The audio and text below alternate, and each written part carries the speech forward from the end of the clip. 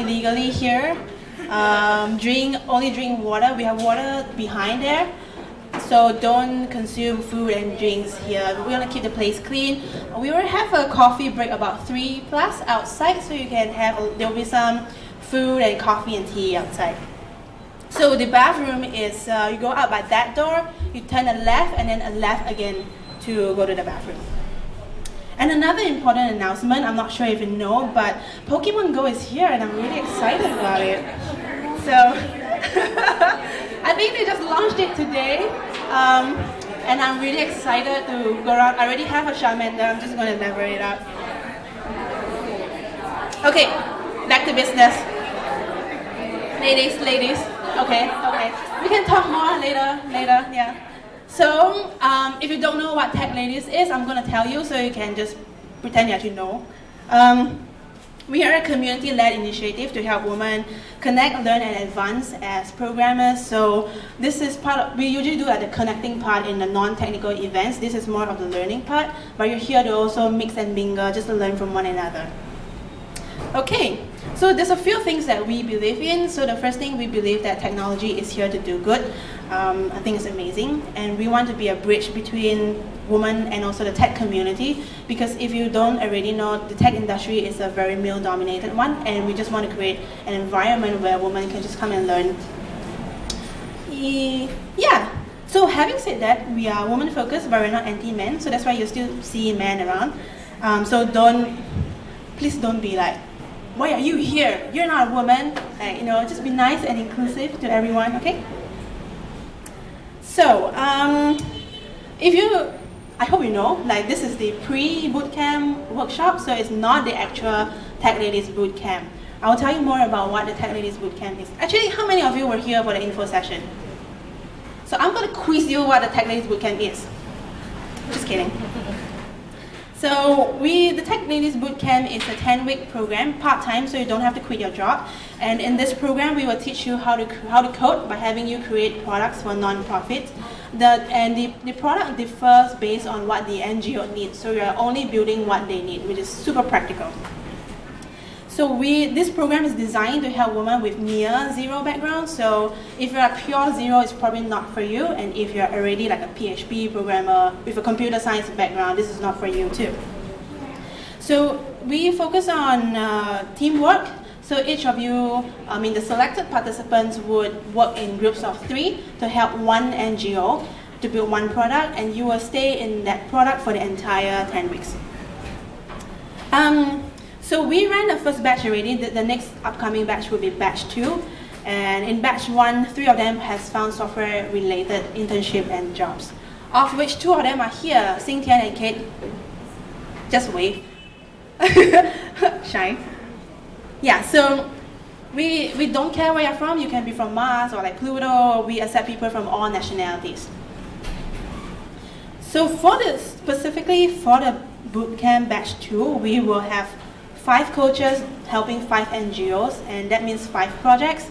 And it also means that we can have uh, 15 people. The language that we are focusing on this time around is on the Ruby programming language. And yeah, you are expected to spend about 15 hours a week, three to four hours, some, something like this. We'll meet at one, and then we have it run to about five. Some people want to stay longer to seven, that's also fine. So it costs $500 to participate. We did not do, we don't do Tech Ladies for profit because 500 is shit profit. Um, we, but we need money to continue running all the events and stuff, so we're going to charge this bootcamp, but full scholarship is provided for people with financial difficulties. Ah, cat.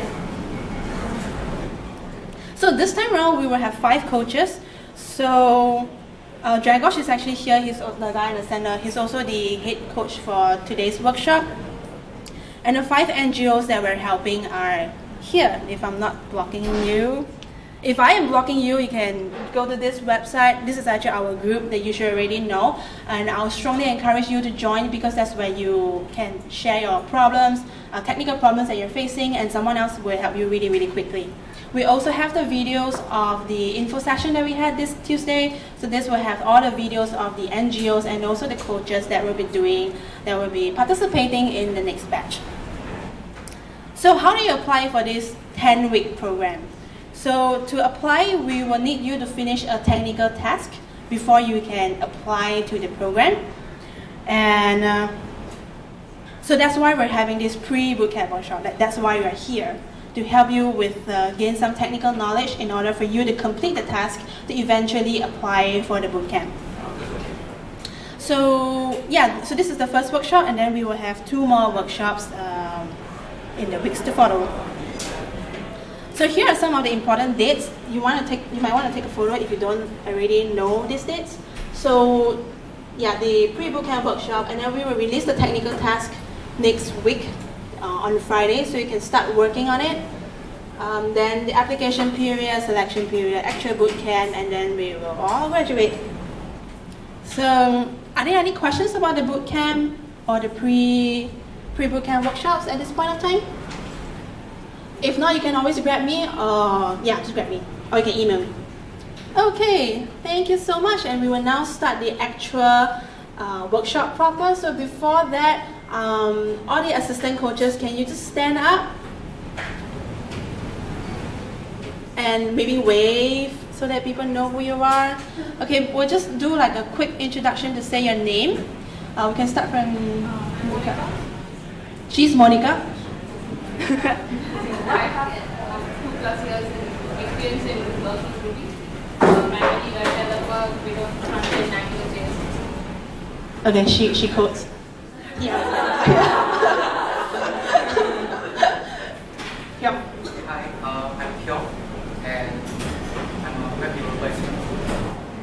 He also codes. Yeah. Okay, Shamin. Uh, thank you for Sherman. I don't know people that uh, I'm a web engineer at Viki. I work a lot with JavaScript and Cool. Hi, I'm Aisha. I'm a front-end engineer at Viki, and uh, I'm actually Sherman's colleague. So we work with a lot of JavaScript. Okay, Justin. Hi, I'm Justin, and uh, I'm a full stack developer, so I, I'm freelancing right now. Uh, hi, I'm Bo Xiang, so I'm a web developer as well. I work with Ruby on Rails and Node.js, so Ruby and JavaScript. Okay, cool. So um, just they have a special name tag. So as and when if you have any questions, which we will expect you to have, have a lot of questions. I think you have gone through the hardest part. Um, for me, installation is the hardest part. I hate installation. My installation guide is to step one, locate programmer. Step two, pass laptop over. Step three, done. So you guys have like done the hard part. So in any case, if you have any questions that you can't follow with the main coach, just raise your hand and one of the assistant coaches will get to you. Okay? So what's Grzegorz? Okay. I was panicking for a moment. Oh, what's the main coach? So he will get this workshop started. Give him a round of applause. Thank you. It's just like my laptop. And I can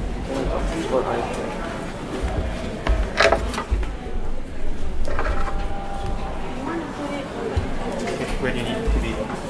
Uh, Okay, where do you want to be? here, I, oh, I could be here. So if I can put it here. Okay. So that I don't cover here.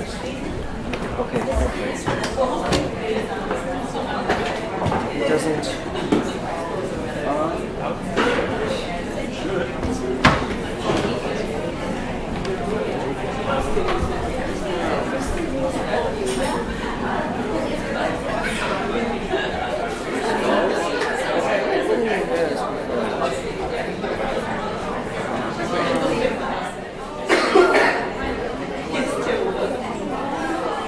Hello, hello.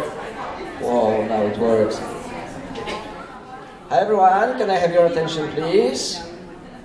Thank you. So, my name is Grzegorz, you can call me Greg.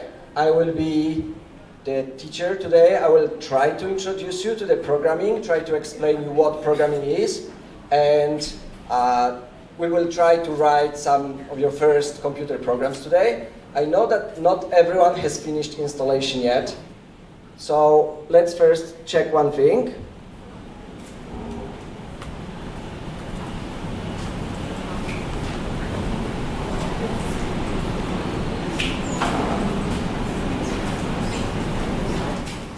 Okay, so if you can see the screen, the password is techladies.co, just like the URL of the website.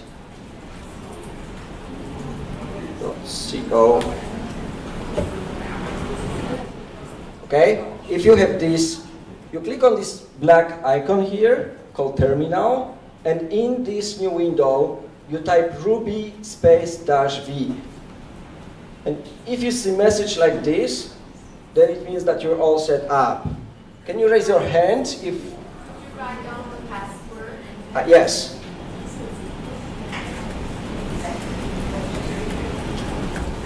Uh, let me make this bigger. Okay,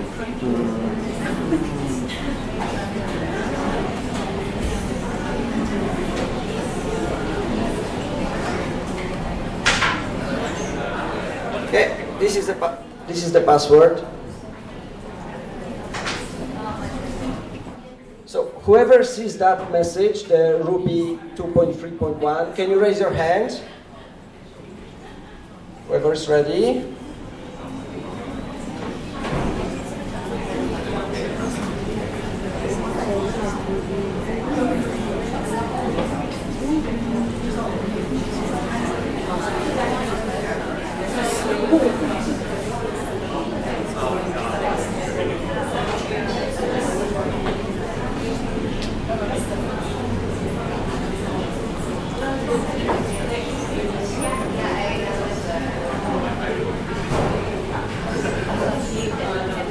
I, I'll give you an instruction second. Okay, look, whoever has trouble, whoever sees some error message, don't worry about it. Just do something, something different. Uh, just go to your browser and go to this website called repl.it. How do I need to do here?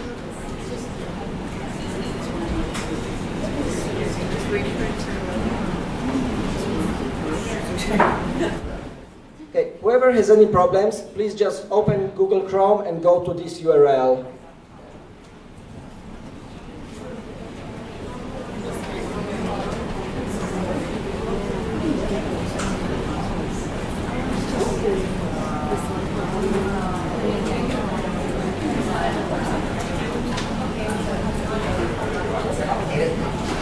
Sorry? They can't hear you. If I have, yes. Because some of them has. Uh, But it will take 10 minutes to install it, so let's just go to this website instead. Yes, let's not. Yeah. Shalin? Hey? Okay, yes, then just don't worry, just go to this website and There is some issue that becomes really, really nice, that's the problem. But don't worry, that website basically works. Okay? Is everyone set up? Does anyone has any more problem? Okay. Uh,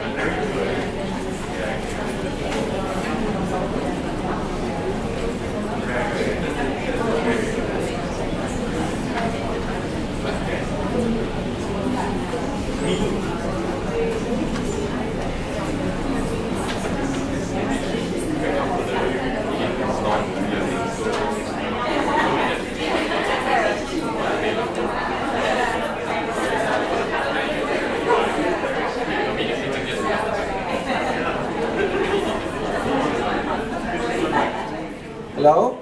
Okay, look, if anyone has any problem, if anyone can't get that, that last screen that I showed, just go to this website, it will work just as fine, so that we can start. So when you go there, you should see screen like this, with white part and then blue part. If you see this, then you're set up, and we will use this instead.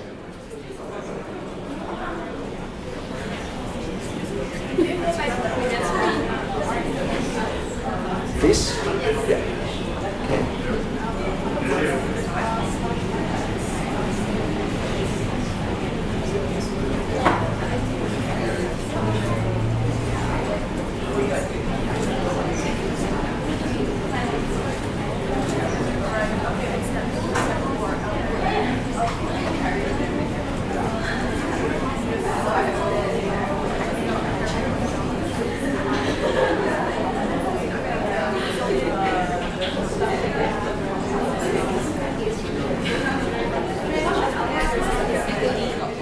techladies.co password.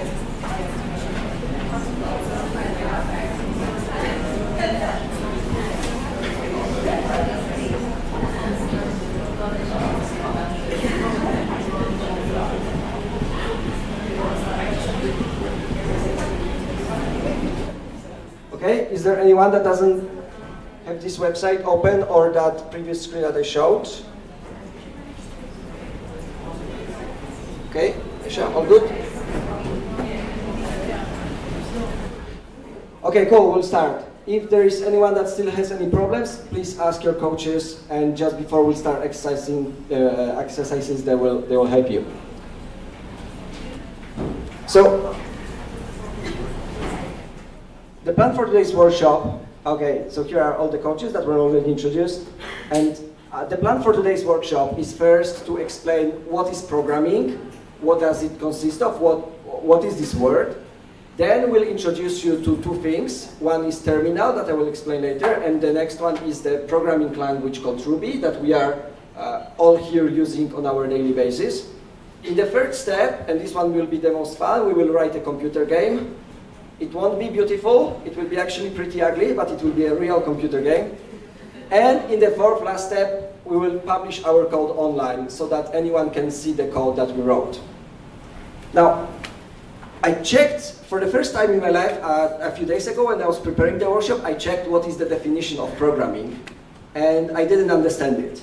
So don't worry if this is, seems magical. If this is what I learned, when, when I started programming, I probably wouldn't do it professionally ever. So it says that programming is a process that leads from formulation of computing problem to executable computer program. But that's, of course, that's, that's a definition that you can find in encyclopedia. So let's maybe ask what, what, what are the steps? What is programming in terms of steps? So the first step for a programmer is to understand what problem needs to be solved. So everything that we want to program, we form in a we form as a problem. Even if it's just application for fun, like a game, we say that this game is a problem that we want to solve. Then once we understand this problem, we can form the solution step by step. And the last step, just the last step, is actually writing code in a selected programming language.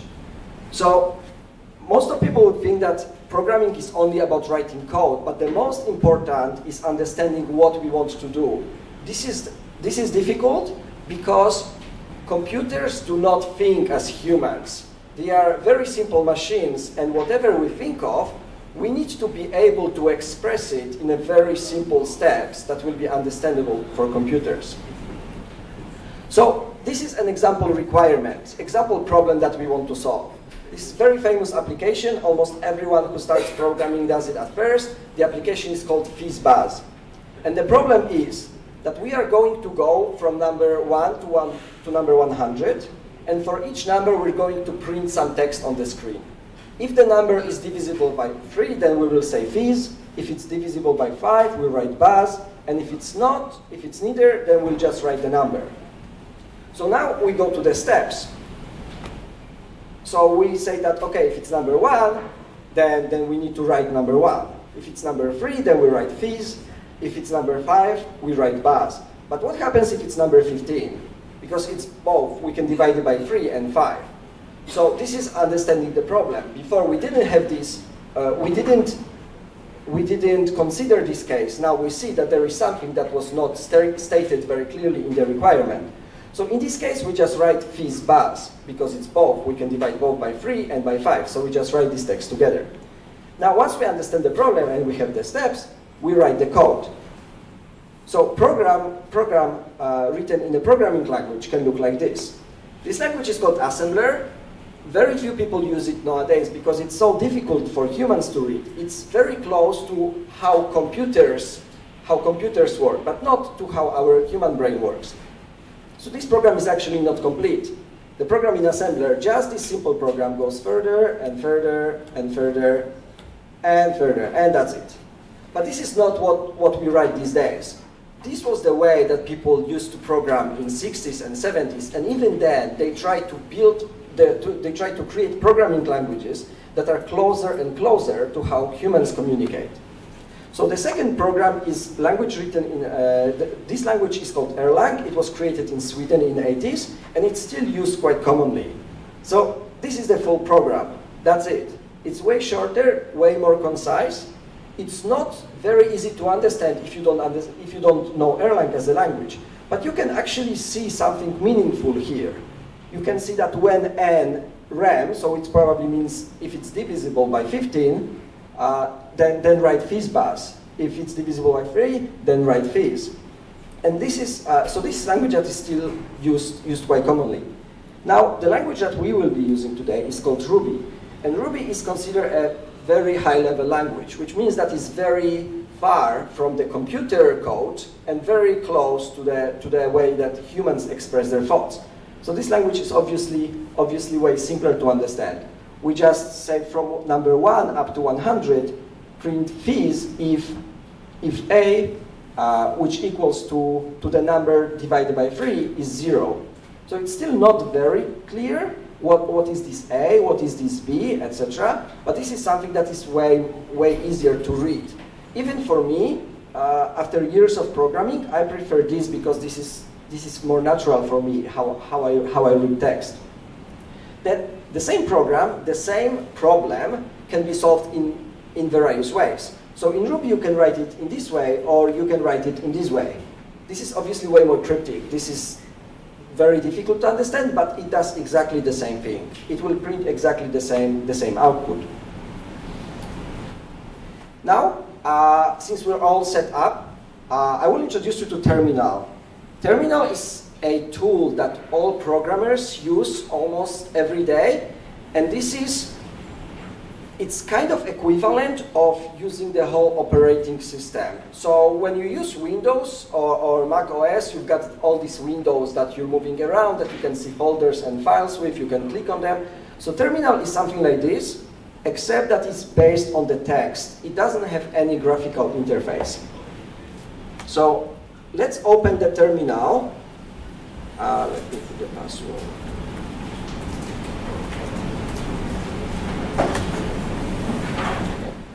Terminal is this icon here on the left, the black icon. And if you if you click on it, you should see something like this with this blinking white cursor.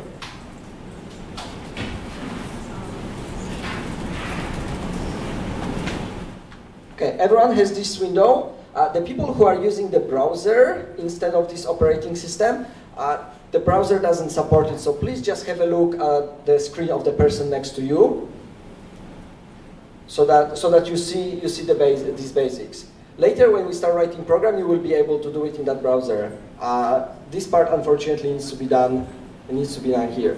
So first command that we will type is ls. If you, if you, if you put ls, and you press enter, you should see a list of blue and white text like this. So ls means list. It lists the current directory. So directory is like uh, your home or your documents directory in Windows. And just prints its content on, on, on the screen in text.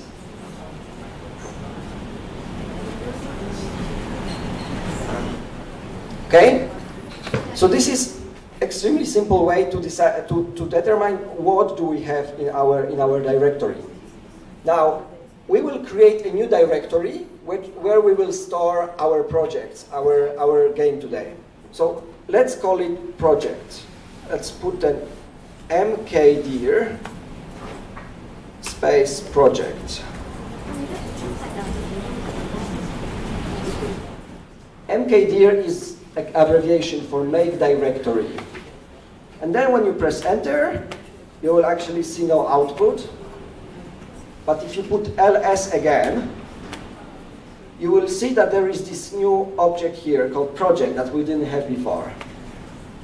So in Windows or in Mac, the equivalent of doing that would be clicking with the right mouse button, press, uh, choosing create new directory and setting it name to a project.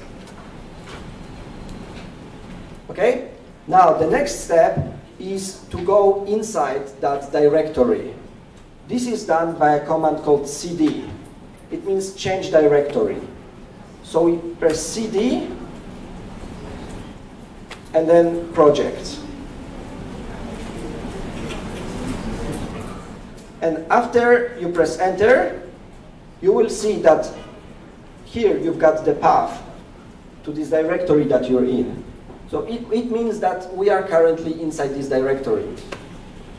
And if you press ls, you will see that there is nothing inside because we just created empty directory. So now let's, let's create something in this directory. The command to create a file is called touch. And we can call file exercise1. Now once again there is no output, but if you press ls, you will see that this file is here.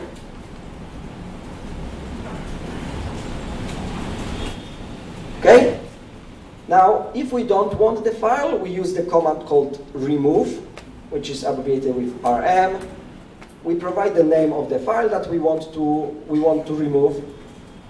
Press enter, and then we, when we list the directory, we, we have nothing because we, did, uh, we deleted that file.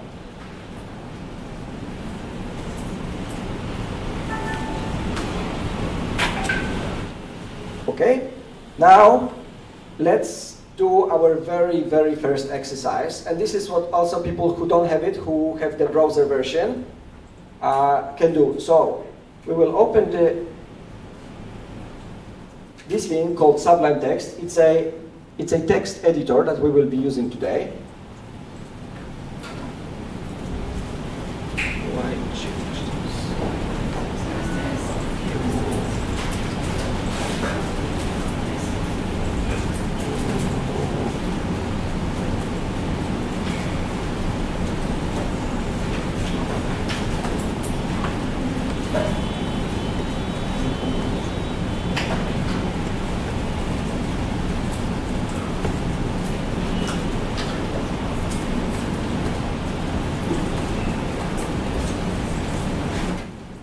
Okay, uh, I can't make it bigger, so I will just write in my editor instead. But you can just repeat whatever I write.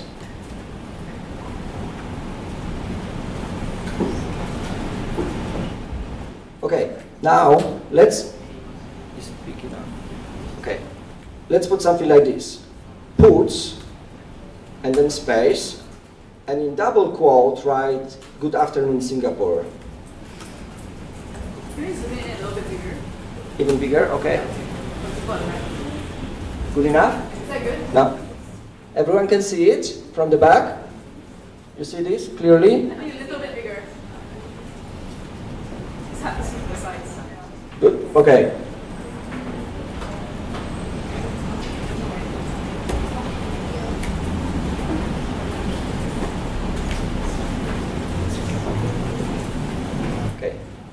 Puts then inside double quotes, good afternoon, Singapore. Okay, let me just do it in that editor as well.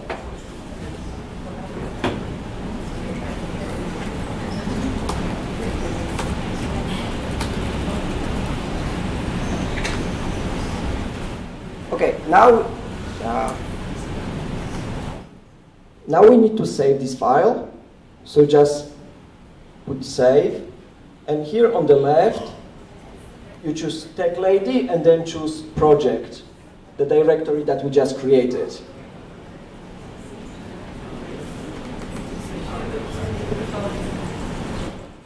And then, as the name of the file, let's put x1.rb.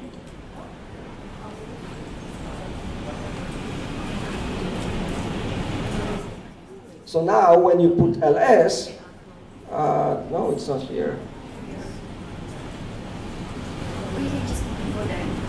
Okay,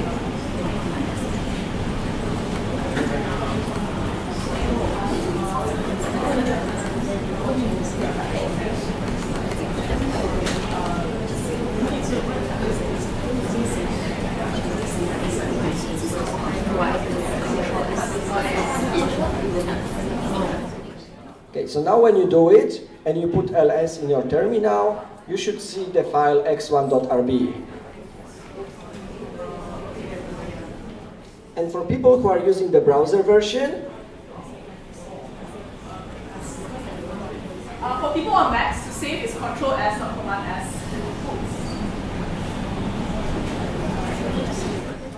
And for people who use the browser version, just put it here. Put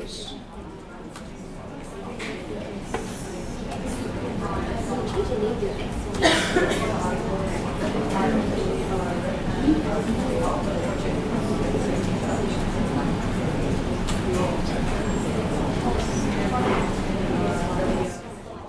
everyone has it? Uh, not yet.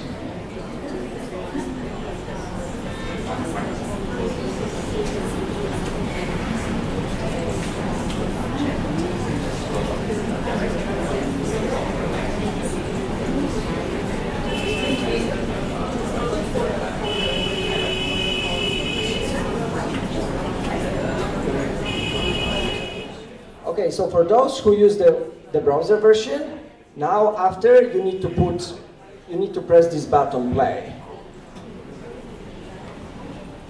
And this should write good afternoon Singapore on the right side.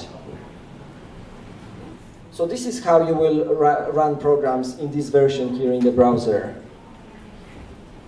And for those who are using this terminal version, what you need to do is to put Ruby space x1.rb and then you put enter. And you should see exactly the same. You should see good afternoon Singapore.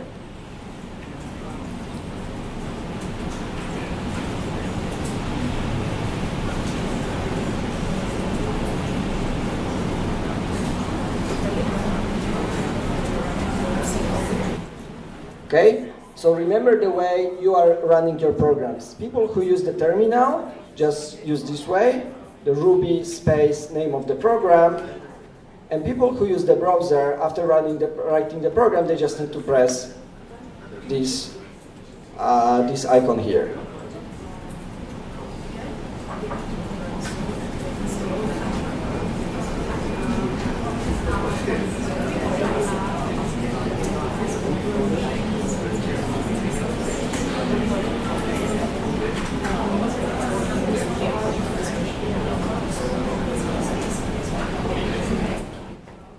There someone that hasn't written it yet? Okay.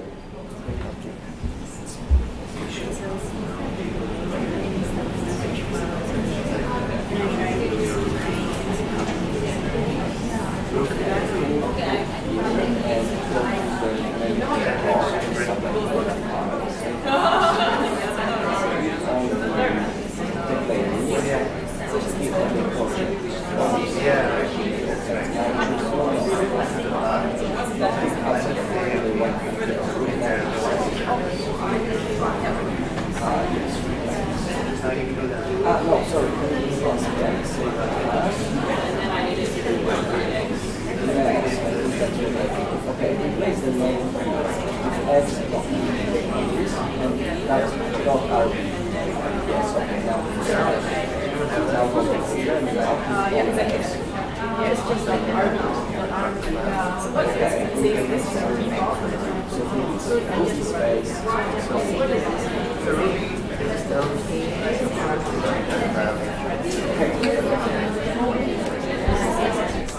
Okay, everyone finish this exercise?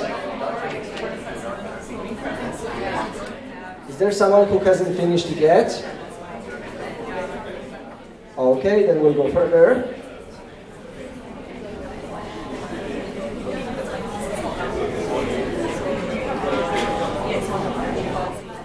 Okay, so what you just did is we wrote the first computer program, the very, very simple computer program. It, it was written in the language called Ruby, uh, and programming languages are kind of like human languages. It allow, it allow us to communicate, except that instead of communicating with, with humans, we, communi we communicate with computer with the language that they understand. So you know that these days we have lots of software that actually almost understands what we mean. There are lots of chatbots on Facebook that we can type to, and there are even some machines that can understand our voice and recognize, recognize what we say. Uh, but we all know, if, if anyone here tried it, you know that it's far from being perfect, actually very far. they cannot understand our accents, they cannot understand some slang words that we use, and this is because computers are really, really stupid. They are just trained with lots, lots of data to understand even very basic sentence that we say. That's why programming languages are very strict. They have just a bunch of words that we can use because this is the way that computers will be able to understand it easier and faster. So for example, if, uh, if there is a word called if-else, like two words, if-else, computers will only understand it. It will, it will not understand otherwise, for example. Or it will not understand unless. It will not understand all the synonyms that we have just because the, the, the, these languages consist of very, very few words. So, uh, okay, this is the game that we will write today, but before we get to that game, uh, we'll write a few other simple programs that I will show you now. So, anyone, everyone knows how to run the program that you write? Once again, if you're in the browser, after you finish writing, you click on the play. In the terminal, after you finish writing program, you need to save it, and then you need to write it using the Ruby command. Okay, so let's, let's try to write something more useful.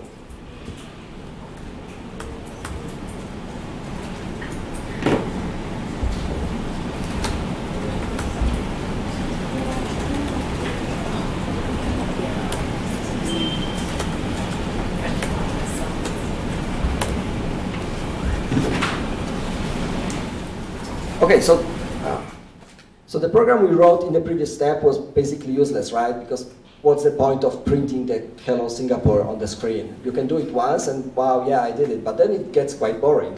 So now we will write some dynamic program. So the very basic way that programming languages were used was to perform some computation. They were basically like calculators. Uh, so right now in your file, you can try to run some, some basic uh, some basic computations. Like you can do puts and then you can write 10 plus 40 or you can use different numbers. And then you can do the same, but instead of, uh, instead of plus sign, you can use asterisk to perform multiplication. The third one, slash, is the division. And the fourth one, you will realize once you try it out. Okay, so right now, you don't need to use these exact numbers. You can use different ones. Just try out and see what are the results. Check if the results are correct, because there might be something surprising that, uh, that you wouldn't, you wouldn't uh, see this result coming.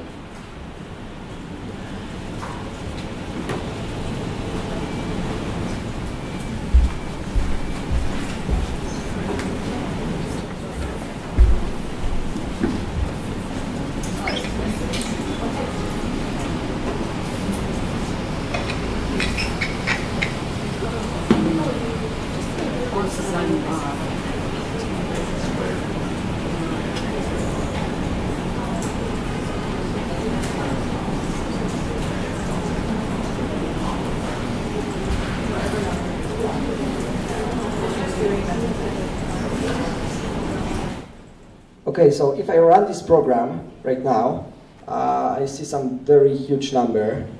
So have you realized what is the operation? Yes, exactly. So the last one, this double asterisk means to the power of. So I will replace it with something shorter, uh, some, something smaller to see the other results.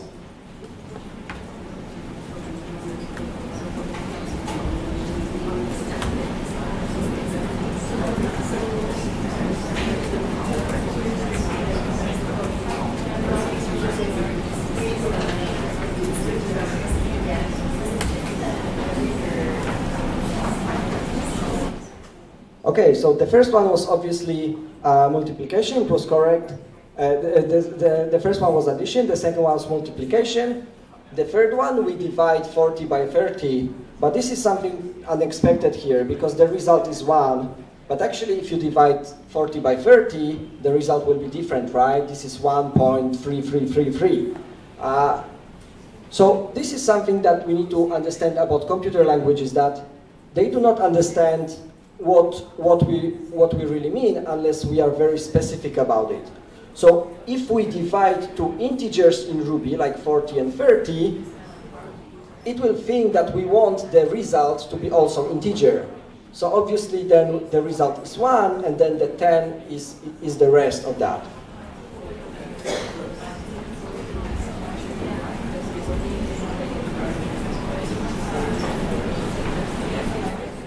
Now here you see the next program uh, that performs only division, but what I changed here is that to the number I added 0.0. So you can try it out.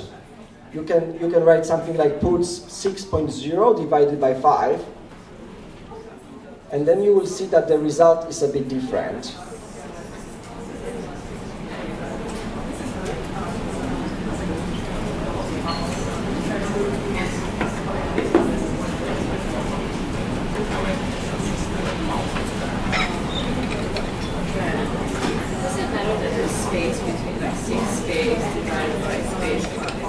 No, in this case it doesn't matter. Uh, just try different ways and see what is easier for you to read. That's yes. Why do you use puts instead of print? Because puts move to the next line. If I do print, it will just the next text will be added, so it will be uh, printed. Yes, exactly. Yes.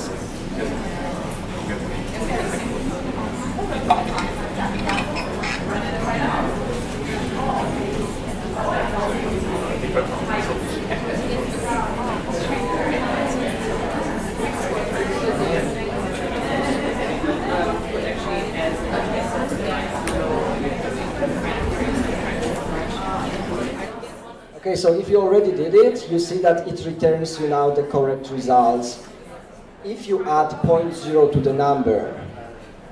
And this is because 6 and 6.0 are considered different numbers by a programming language. 6 is an integer and 6.0 is a, is a real number. So it might be a number with a fraction. And then if we divide two real numbers, one by another, then the outcome obviously will be the same type. So it won't be integer. However, if we divide two integers, like in the first line, 6 by 5, the programming language assumes that the outcome we want is also an integer.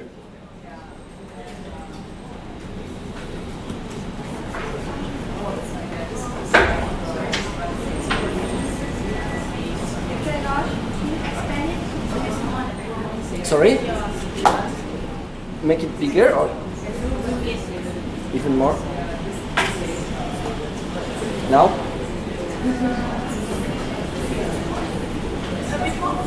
I, this is the most that I can use my screen here. yes, because it also gets bigger. Okay, now I want you to do something like this. This is similar to what we did in the previous exercise. We divide two numbers. One is, one is with point zero, one is the integer. But I want you to divide these two very specific numbers. 130. And the reason I want to, I want to do it is because you will see that the result is far from being perfect. Because the result is 3, and then we should have, using the mathematical notation, we should have 3 in parentheses, right? So it means that there is an infinite number of these digits there. But computer languages do not understand it. They can't, they, they don't get this concept of, of infinity. So they just round the number. So instead of x3, we just see 5. And this seems very uh, useless, like it's, it's, it doesn't seem important at all because, well, we've got like 20 digits here, right? And, and only this one here is, uh, is wrong one. But if you perform financial operations, and you multiply this number by a few millions, then it appears that the, that the error might be a few dollars. And if you perform millions of operations a day, it basically means that all of your computational operations are incorrect.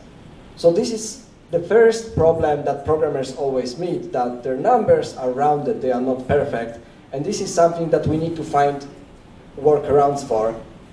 And the reason is that computers are just once again stupid machines that are that do not understand things like humans, but they uh, but they understand in a very, very simple way. So let's go to the next program now.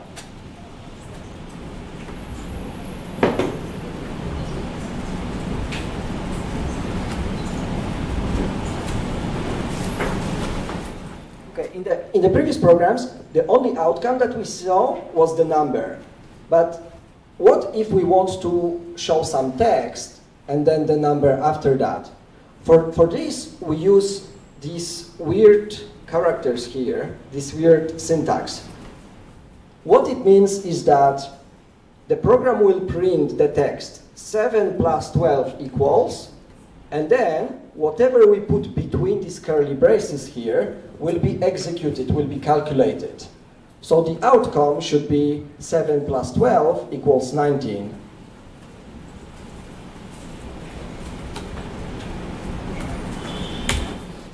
And this is what it returns.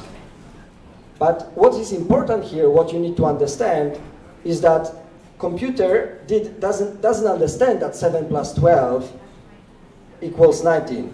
It thinks of this part here just as a text. So if you change this number to 15, it will still it will still say that 7 plus 15 equals 19, which is obviously incorrect, right? So these are two separate pieces of information. This here, between the quotes, it's just treated as a text. Computer doesn't have any idea that it's a number. It's just a text. And what belongs, what belongs here, between these hash and curly braces, this is that computer tries to understand as numbers.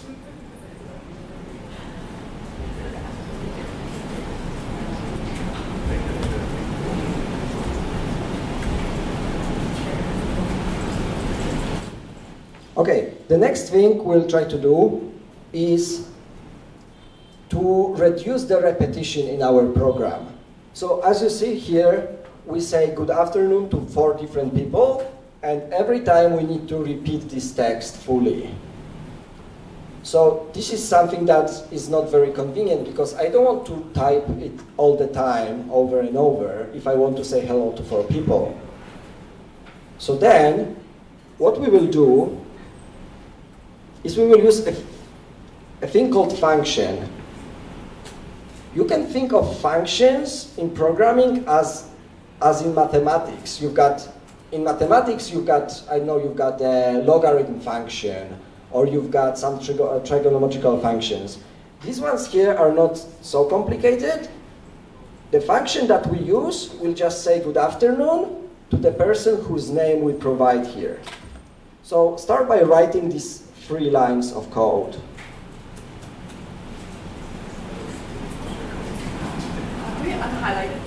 Ah, sorry. a. Yes, okay.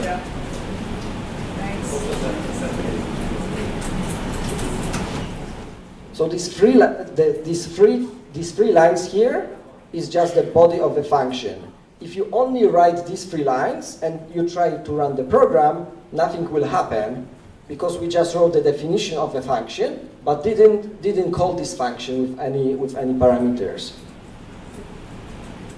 So Ruby syntax says that function starts with the word def, which is a short for, for definition.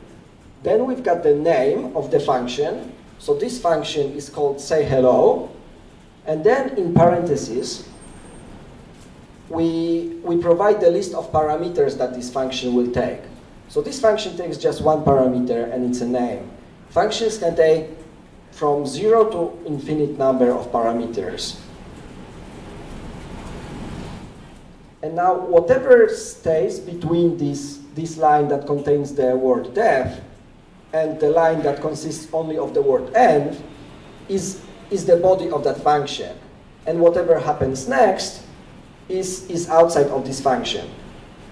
So once, once we write end, our function is, is done, and now we can call it. So in the next, in the next line, in line number five, I call this function. What, so what I mean is that I want to call the function called say hello, and as the name, I want to provide Grzegorz or Varun or other names. So try it out, try to put your name, see if, if the output would be this text, good afternoon.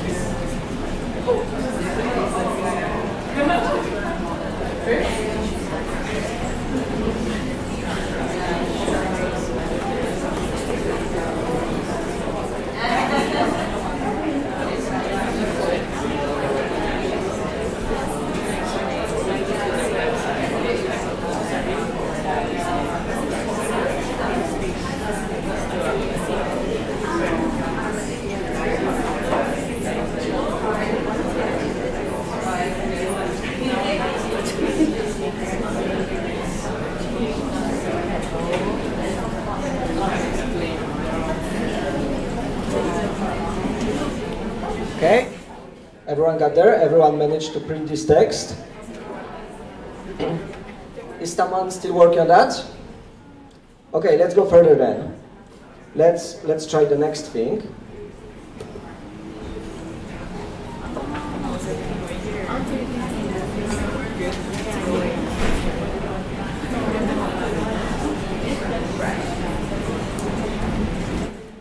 Okay, the next concept I want to introduce to you is variables.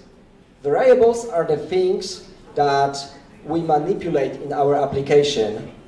So we assign some value to some, to some name. So in this case, I have four variables, uh, the name, age, the variable called is smoker and is lazy. And each of these variable has some type. So the first one, name, the, the type of this variable is a text, or as, we call it among programmers, it's a string. It's, it's a series of characters. And then the age is a number, and it's an integer. You see, it doesn't have dot and any number after that. It's just an integer. And the next two ones are so-called Boolean value. Boolean says you if something is false or true. It's just, it just accepts two values. So number has infinite amount of possibilities. It can be one, it can be million, it can be even bigger. But Boolean has just two values. It's either false or true. So now what, what this program will do is that it will print some text with the included variables. So this mm, name here will be replaced with the value that we assigned before to name. And the same with other ones.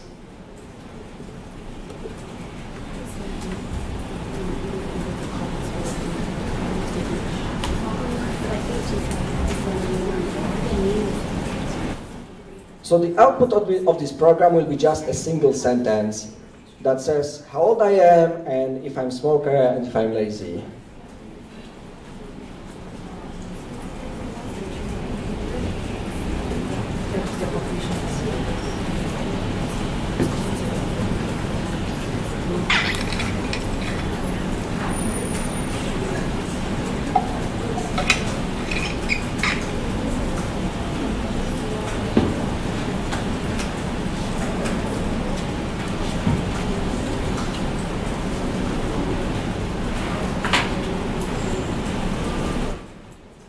What you can do is you can try to replace these values here with either different numbers or maybe even different type of the value. So let's say that I provide that my age is no.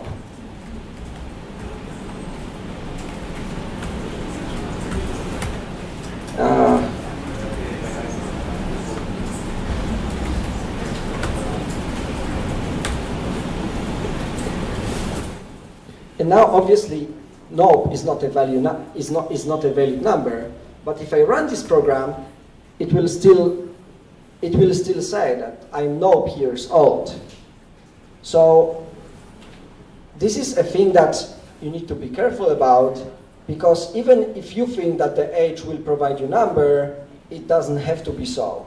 So the name of this variable doesn't necessarily tell you what it contains. So you can assign anything you want there.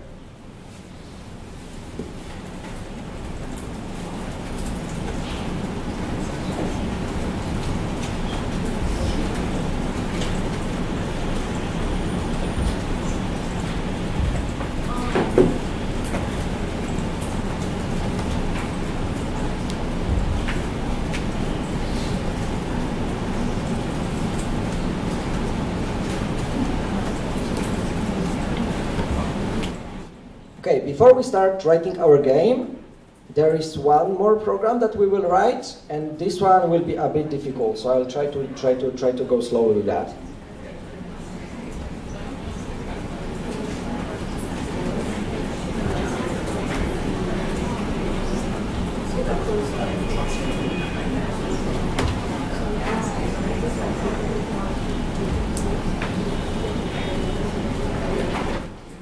Okay, so this program contains of a, a, a, few more things, a few things that we didn't introduce before.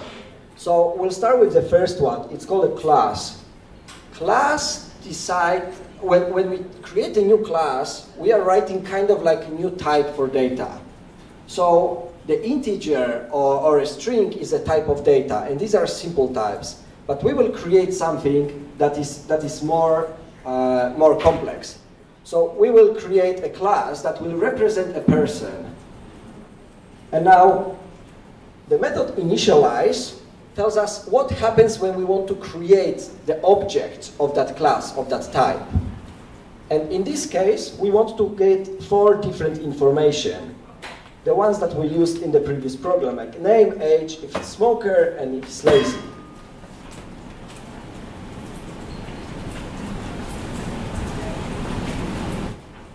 In the body of this initialize method, you can see that we use these characters with the at sign in the front. This will tell the class that we, that we want this, this thing here to, to be available also in the middle of this class. If we do not use this character, this name will be available only in this method. It will not be available here later.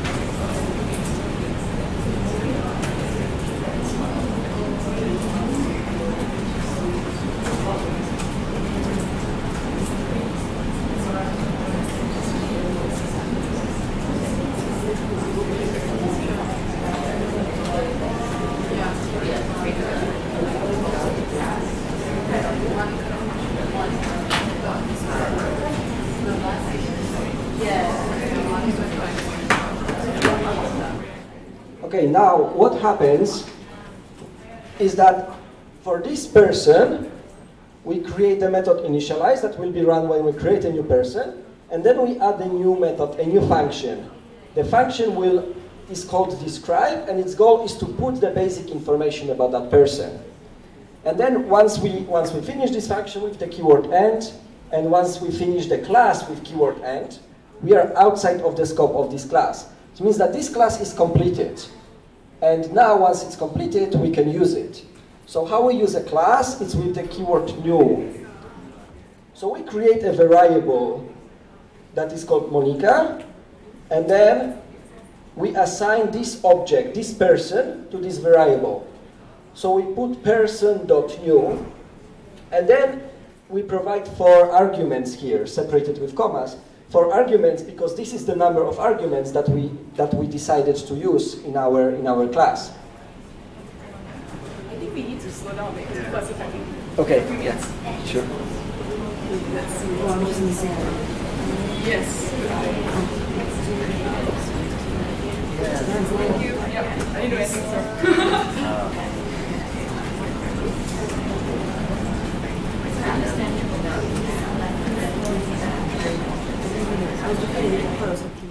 Anyone needs help? Just raise your hand.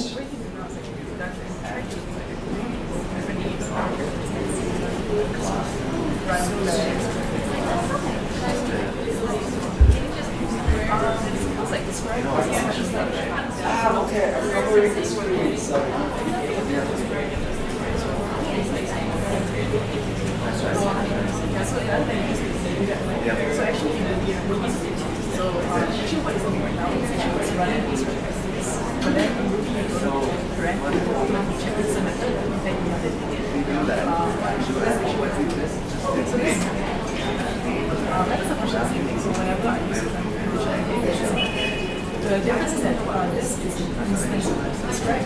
Um, and what it means is that we only use the method uh, instance of the class. So, for example, here is an instance of the class. Michelle is a person. Yeah, and you can only use the on the person. So the is describe. So, that's right. Which is this of uh. So it to don't you find out?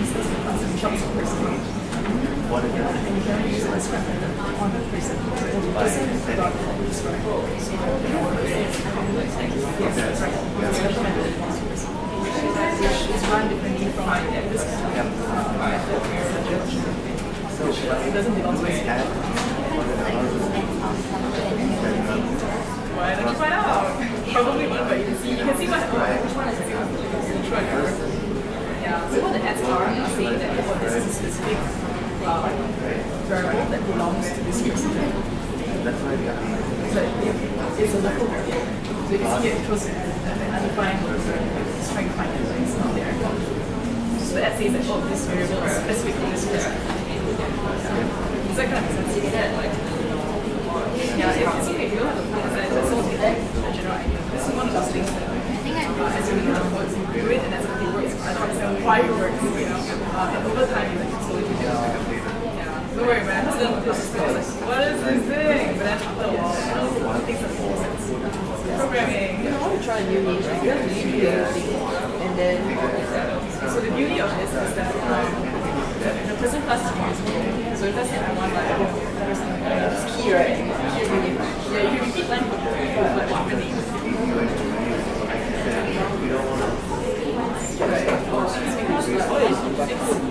Oh, so whenever you say whenever you say variable undefined local variable, it means that there's a probably right? Oh, yeah. Be like, oh, it comes from this part. So run it Oh, right.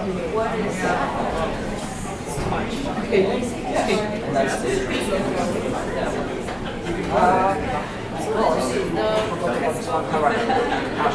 The describe function. So without this character, doesn't know that it needs to proceed. It's just choosing the steps. So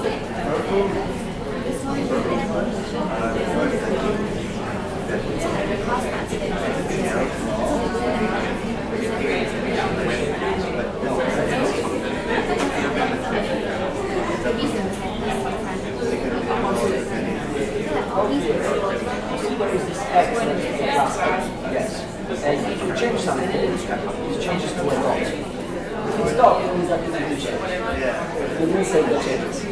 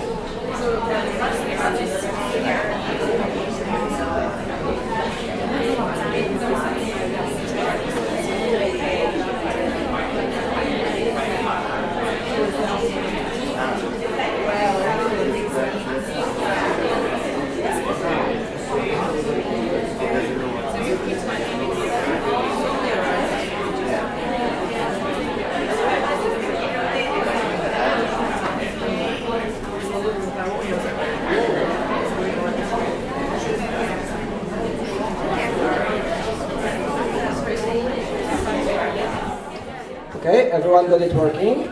Someone still has problems?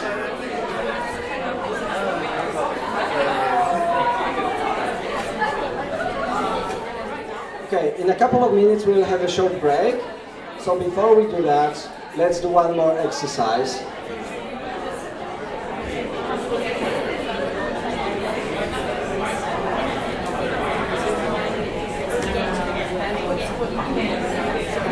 One each, one each, one, just like, just like one giant. Okay, the last exercise before the break is introducing a conditional, which means that we will print the text which depends on, on something. And we will do it in this new function that I called here, that I added here. The function is called smoker with the question mark in the end. And it, the body of the function says that if this variable here, if his smoker is true, then we will put yes, the name is smoker. And else, in another case, it will put no, it's not a smoker. So this function will behave differently for different people. If in the person.new we provide information that yes, that person is a smoker, it will print yes, otherwise it will print no. Once you add this method, you just go here and after you created the object called Monica, you can ask if she's a smoker. You just put monica.smoker with a question mark. Try to run it and, and, see what it, what it does.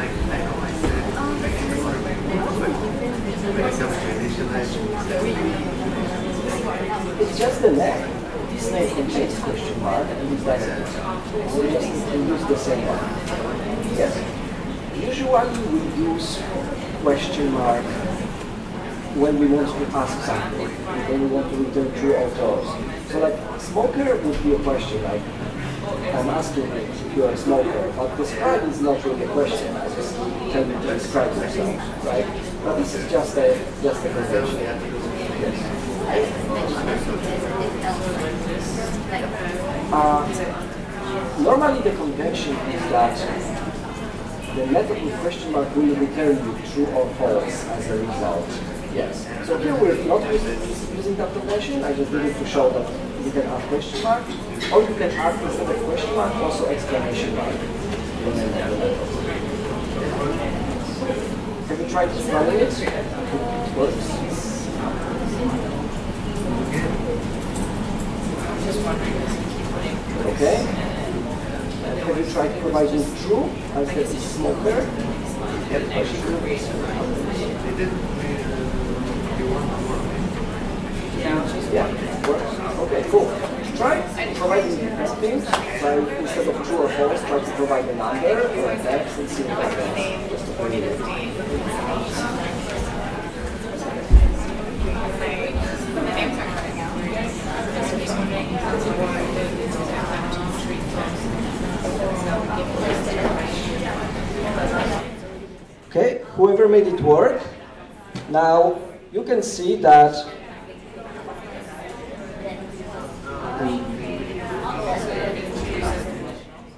smoker is our third parameter here on the list. We've got name, then age, then is smoker. So then what you can do is you can change the value that we put here in the third, in the, the third one in the order from false to true.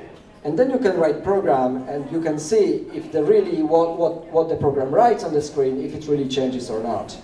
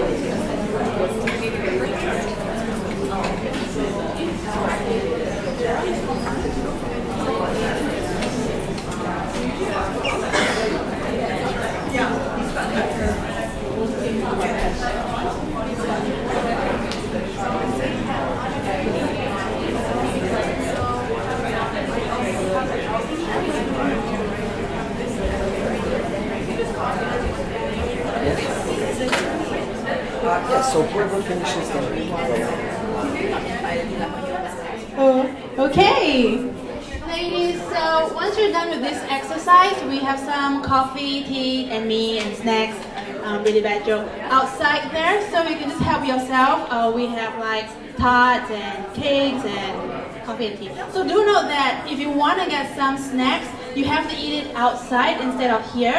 So you kind of have to choose if you want to continue here or you want to eat something outside. And we will come back from the break in 30 minutes? in 30 minutes. Thank you. Hello everyone. Hey, we're all back.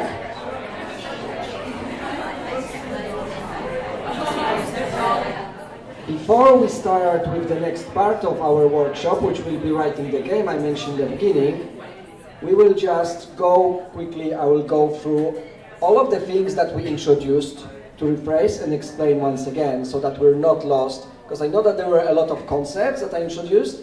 Don't worry about it. I know that it's all overwhelming because normally what, what you learn here is done in a few weeks or a few months of university uh, when you study computer science. So this is very intensive course. Uh, and before we go further, I will just quickly, quickly remind what we, what we covered here. So in our first program, we just used one function called puts, which prints the text on, on, on the screen. And the text needs to be inside the double quotes.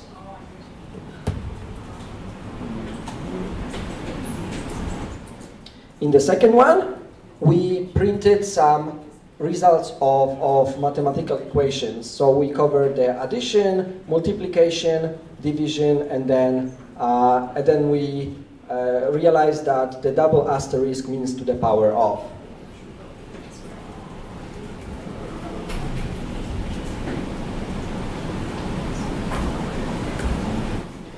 Next, we covered the concept of integers and floats, which are the number with, numbers with fractions. We learned that if we divide two integers, the result will be just integer without the fraction. If we want to have float, which means the number with, uh, with the fraction as the result, we need to use the, this number with dot and then the fraction, fraction after that, even if it's zero. Next, we realized that the numbers on computers are not perfect because there is a rounding error. Because computers do not understand the concept of the infinite number of digits after, uh, after the dot. What we did next is so-called interpolation, which means that inside the text we put a hash and curly braces. Remember that this pair needs to be curly braces. And whatever happens, whatever we write inside, it will be calculated by the program. Next, we introduce the concept of function. Function is something that allows us to avoid repetition in our code. Instead of repeating the same, the same phrase over and over, we can just create a function and then call it. Function contains of three things. First is the definition, which starts with the word def. Then there's a name of the function, and then in the parentheses, we put the list of parameters that this function will take. The next part is the body of the function, which means what will computer do when this function is later called. And this function say hello, what it does, it prints the text good afternoon, after which it puts the name we provide, and then say how are you. To call the function, uh, sorry, the, first, the third part of the function is the word end. It needs to be there because without this word, the computer thinks that we are still writing the body of the function. And then after we finish it with the word end, we can call the function just by using its name. And then in parentheses, we, we put the parameters that we want to provide to that function. In the next step, we introduce types. So now we know that computer recognizes different types. Uh, we have the string of characters, which is basically a text. It has a number and a type called boolean, which returns one of two, two values, either true or false. Also, we learned the concept of variable. I'm not sure if I pronounce it very, very clearly. Yes, variable. In, Brit- in Britain they say variable. Okay. Anyway, yes. So that's that's that's how you spell it. So variable. no, it's not natural. No. uh, is a name is something that we later reuse the program and it's like a keyword. It's a name for some value that we want. So here we've got the variable called age and it holds the value that is 42. Later, we can change this value if we want. Let's say that now, from this point, I want the age to be 50. And now, wherever I use this age later, it will keep the last value. It will return the last value that I put there. Now, the next concept, and I know that this is the most difficult concept that we introduced, is a class. Class is a type. Think of it as of a common description for multiple objects. So let's say you have multiple fruits. You have an apple that is a specific apple that you hold in your hand, and then you've got a durian that you hold in the other hand. And both of them are fruits. So the fruit would be here a class. We've got a class called fruit, or here in this case, we've got a class called person. And then me would be an example of this class. The example, the particular person, we call that it's an instance of this class. So here, in this line number 14, we create a new person and we assign this person to the variable Monica. And what class consists of is a bunch of attributes. We add these attributes in the initialize method. So when I call person.new here, what happens is that a new person is created, and then this function, the initialize function, is called. So this function will basically say that we want to remember these four attributes. So again, these names, the name that starts with at will be remembered for the whole person. If I don't, if I don't have this name, and if I only have this one, this here, it will be forgotten as soon as this function ends. But I want to use this name here. I want to use it in another function of that person. Therefore, I need to use this at name. Now, once I create the new person and assign it to variable Monica, I can call a function that, that this class, that this type person knows. And the function that we created is called describe. So then what I can do is I can write monica.describe and it will return us the name, the age and other information that we provide to, to, this, to this specific object.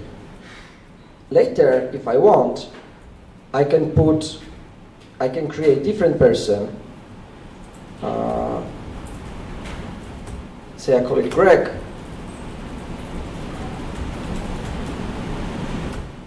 And then I replace the information that I use here with, with another ones. So that the class allows me to later use different instances. Let's say that I want to store information about all the dogs that you have in a shelter. My type would be a dog, and then all the dogs that I have would be represented by specific examples of this class. And in the last part before the break, we introduced this extremely useful thing that is called if-else. If-else is a structure in a language that allows us to execute different action depending on some condition. In our example, we checked if the person that we created is a smoker. And if it is, our function said, yes, this person is a smoker. Otherwise, or else, it said, no, this person is not a smoker.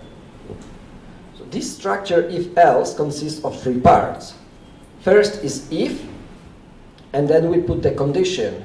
We want to check we want to we want to check if that person is a smoker so then we check the value that will have the true or false after that we say what happens if that condition if this is smoker is true And the last part, the else, is optional.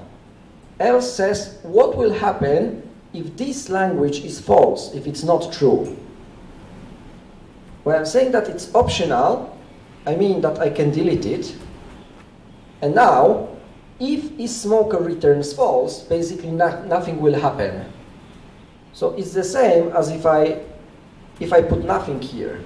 Say else, do nothing. So then I just don't need the else. So these are all the things that, that we covered so far. And now we'll go to this, uh, where is it? Okay, now we'll, now we'll do this. Now we will write a simple game. This game is a, uh, we have a few different versions so that we will be building it step by step. Each step will add something new to that game and we'll see how, how, how far we get. So the game is called Guess the Number. And at first, computer will pick a random number between 0 and 100. And it will ask the player, it will ask us, guess what number I picked? And then whatever number we put there, the computer will say, okay, yes, you're right, you won. Or if we didn't pick the right number, it will say, the one that you tried is too high. Or it will say, the one that you tried is too low.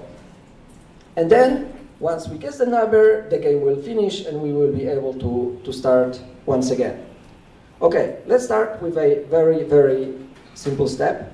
So for now, delete everything that you wrote so far, or you can create a new file or open the, Uh, the new window in your browser, just so that we start with a very clean, clean state.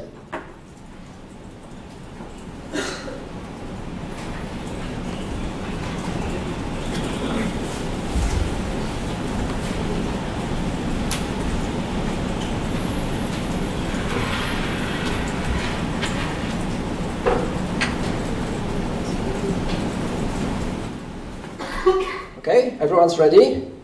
Don't, don't write this yet. Just start with a, with a clear screen. I will first tell you what, what it means, all this here, and, uh, and then, then we'll write it.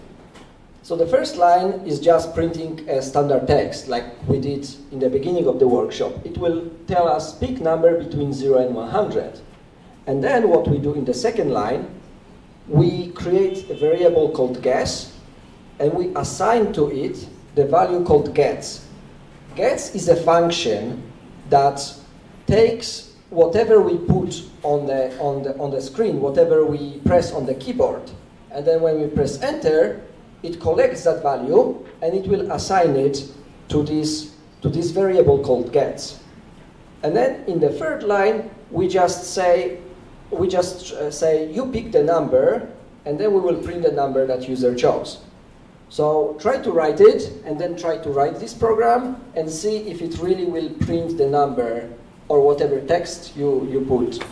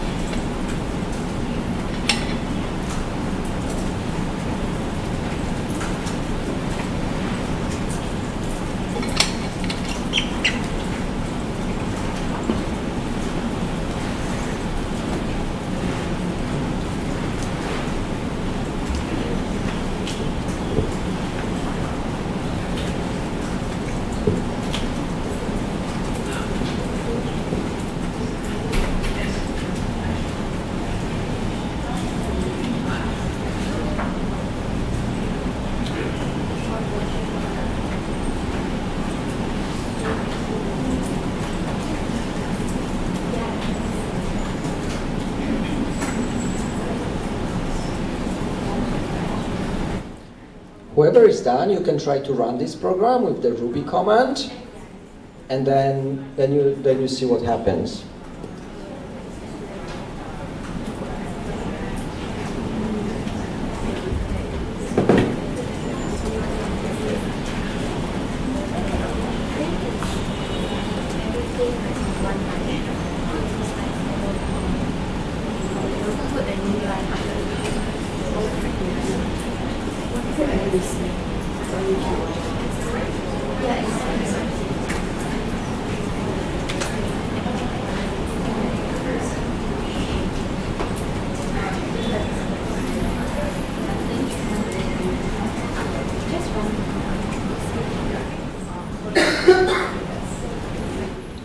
Okay, so if you run the program, it should tell you pick the number between 0 and 100.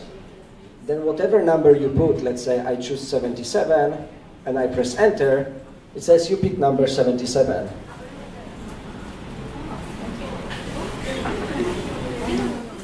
Now you can try to play with it a bit, try to break it, try to put, I don't know, number A, which is obviously not a number, and see what happens.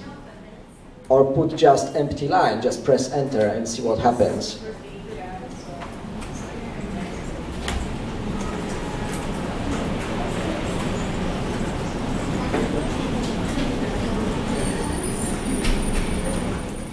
So as you realize, this program doesn't know that we didn't put any number or that we put number A or ABC. The program right now doesn't know that it is a number or it's not a number. It just takes whatever text we put and it re returns it.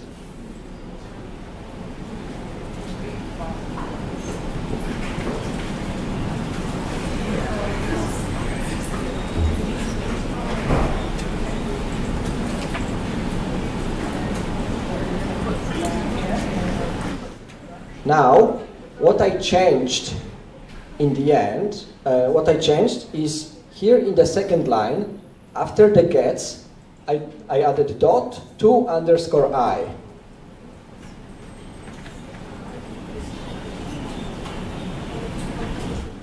Because my program doesn't have any idea that what I put should be a number or not, it accepts any text. So what I say by adding to i is I say convert whatever I put there to a number. And now you can try to run this program once again and try to put some text like ABC or your name instead of a number and see what the program will do.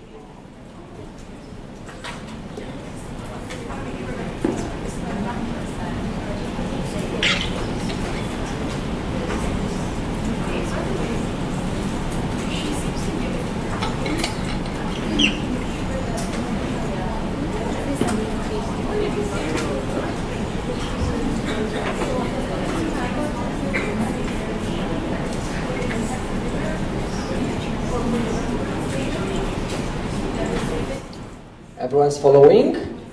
Have you tried? What happens?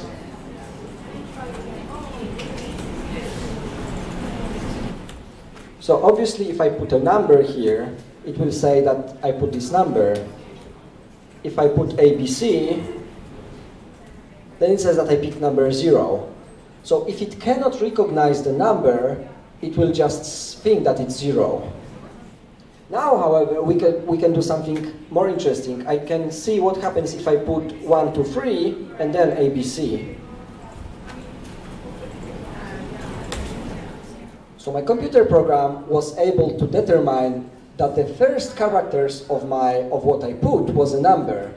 And then once the digits finished and the text ABC appeared, it just ignored it. So I, it assumed that if I say 1, 2, 3, ABC, that the number I want is just 1, 2, 3.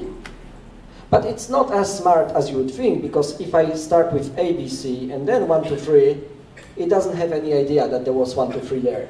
It just checks what, what it starts with. If it's a number, it tries to recognize it as a number. If it doesn't start with a number, just like, okay, I, I, I won't do anything, just try again.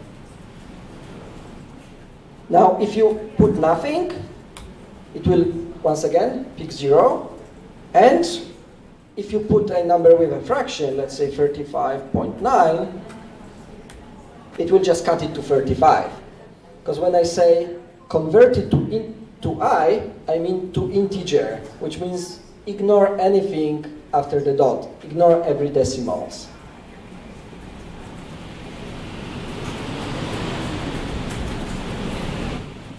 Now, our game was until now pretty useless because it didn't do anything right, it just printed the number that we put. What we will add now is that our program will pick a secret number. So the first line, what I do here is I create new vari variable. and to this variable, uh, which is called secret, I will assign a number a value of this function. So I called function called rand. I did not create this function before, it is created by, in the Ruby language already. Rand means random, and it will pick a random number up to the number that I provide as a parameter. Why I put uh, 101 is that it puts number up to the one that I provide, but without it. Which means that if I put 100 there, it will pick a number between 0 and 99. But what we want is between 0 and 100, therefore we need to put 101 here.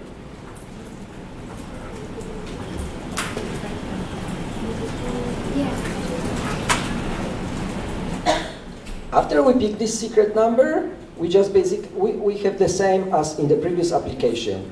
We ask user for their guess, we we convert it to a number, and then in the end, in the last line, we once again said you pick this number and the secret was, and then we reveal what was the secret number.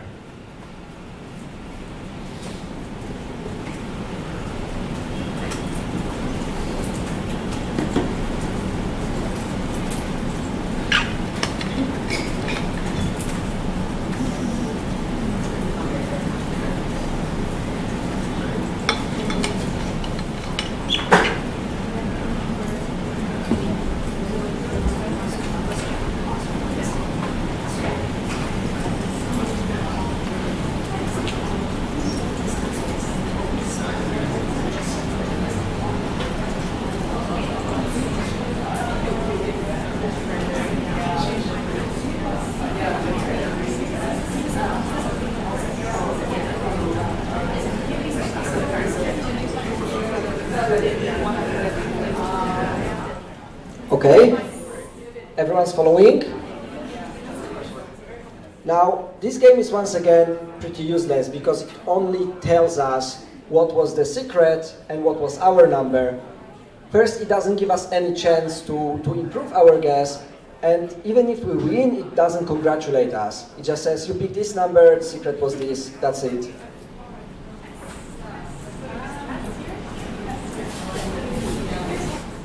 So here, in the next program, we will add these six lines, that nine lines that you, that you see here. So in the line number seven, we are using this if statement. We are using the if conditional. So we are checking if the secret number is bigger than my guess, then I will print your number was too small. In the next one, I check if secret is smaller than the guess, then I will print your number was too big. And in the line number 15, we are checking if the numbers are the same. So as you see, we are not using the single equal sign, we are using the double one. Double equal sign means that we are comparing, that we are checking if two things are the same.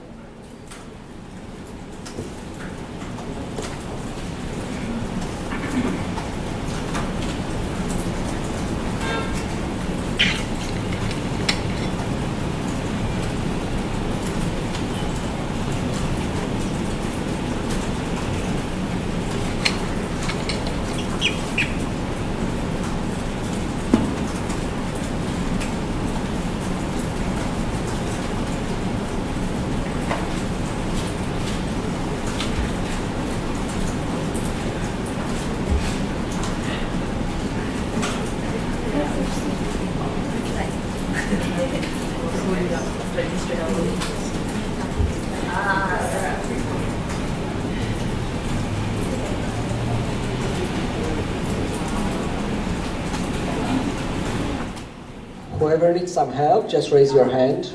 Whoever finished writing this, try to run this program and see if it really works, if it really says that your number was too small when it was too small and otherwise.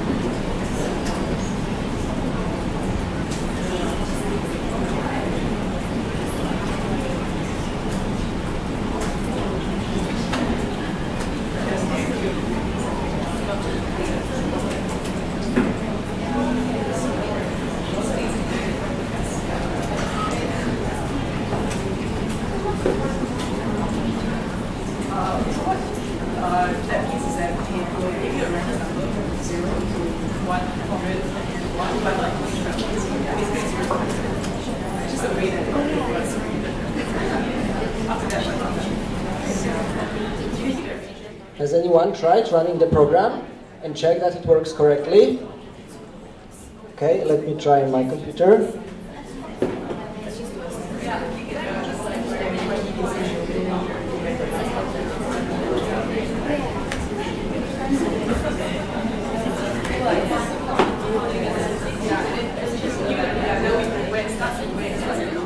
So the output of the program should look like this. When you pick your number, it says you pick this number and the secret number was, and then it reveals it. And then it says that your number was either too big or too small.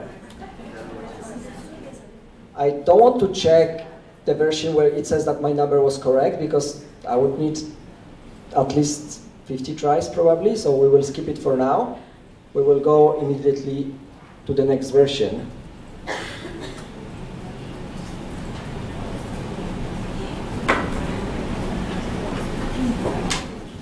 So what we did here is we just simplify our program. In the previous version, we were asking if secret uh, is bigger than guess, and then we write and, then we check once again if secret is, is smaller than guess, and then we did the third try. But what we wrote then can be written in a, in a simpler way. So we can remove those nine lines and just replace it with these. So what we're doing here is we, we, we ask once again, if the secret is bigger than guess, then put that number was too small. But on the next line, we just, we are repeating the same condition, but we are saying else if secret was smaller than guess. Please note that there is not else if, there is no second either. And then we use the, the, the else that we have already tried, tried before. So this is like if else, but this is with three versions instead of two.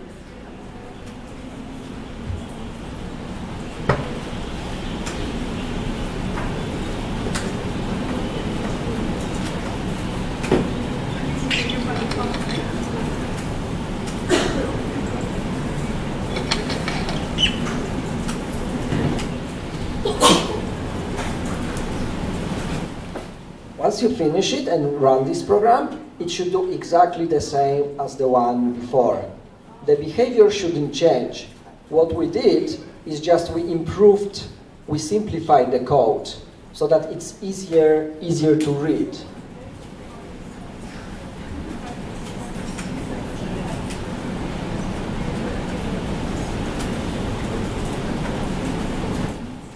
Okay, has, any, has everyone confirmed that it works the same way, that it doesn't return any error? Okay.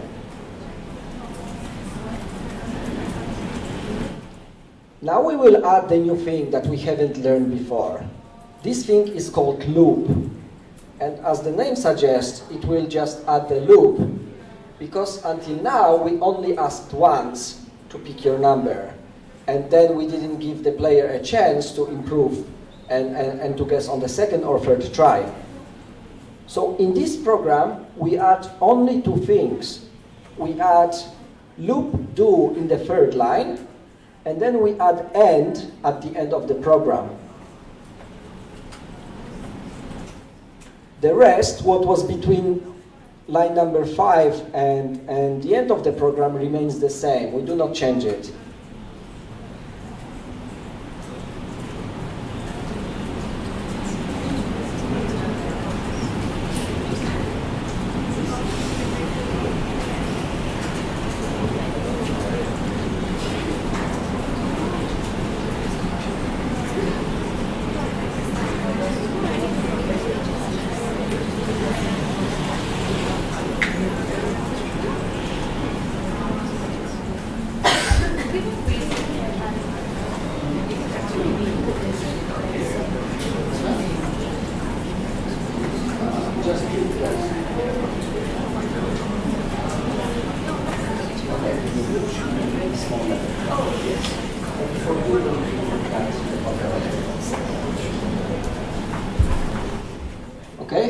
Running it?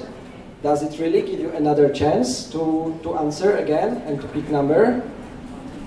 We did, we did. But also need to teach to terminate the program. that, that will come once everyone is stuck.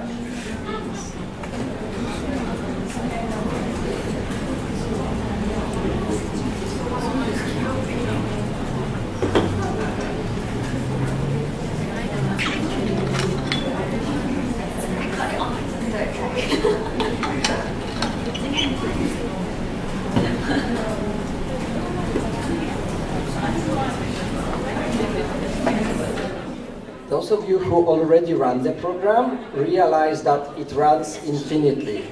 Even if you pick the correct number, just as you pick the number, pick the number. It never ends. So to end the program on your keyboard, you need to press Control, hold it, and then press letter C. And then the program should stop.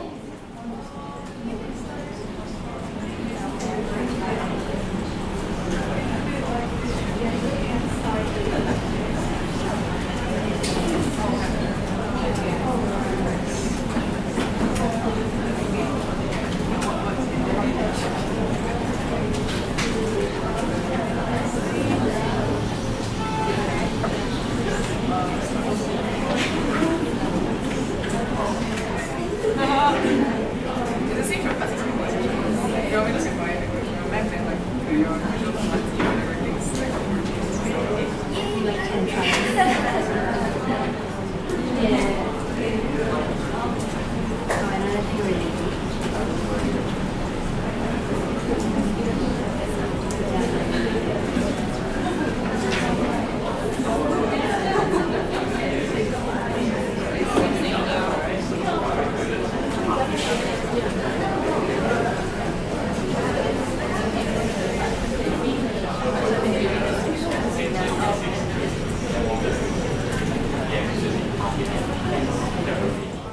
Once again, when you have enough of the program asking you to pick the number, you just press the control, which is CTRL on your keyboard, you hold it, then you press letter C, and the program is done.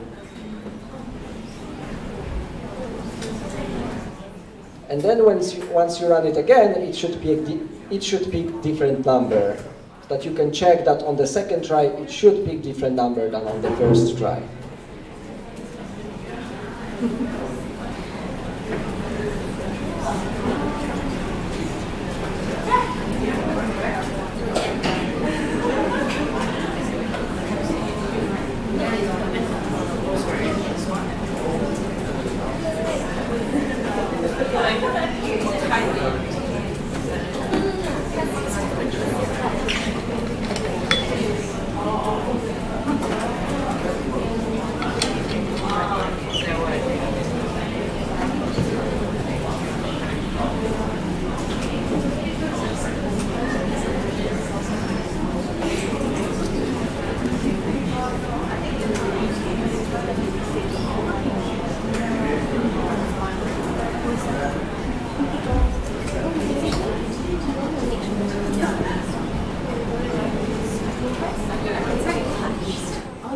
Okay?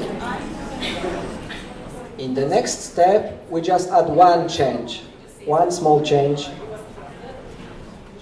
In line number 14, we put the word break. What it does, break will break the loop that we are into.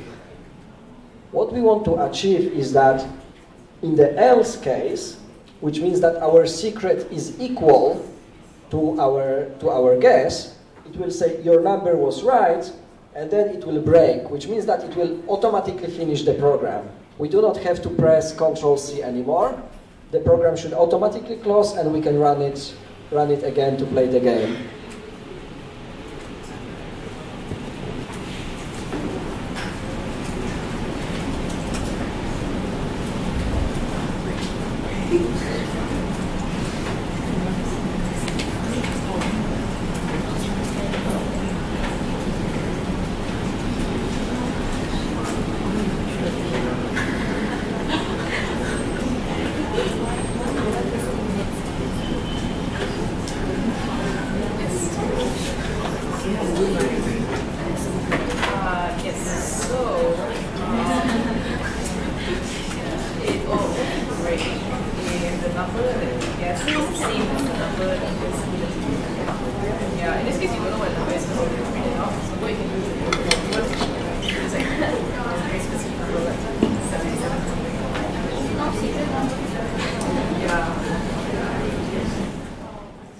Once again, just to rephrase, what we're doing here in this if, we are checking if the number is bigger, then if the number is smaller, and then else, which means that none of this is true. Uh, if the number is not bigger and it's not smaller, it's equal. That means that that means that our number is correct.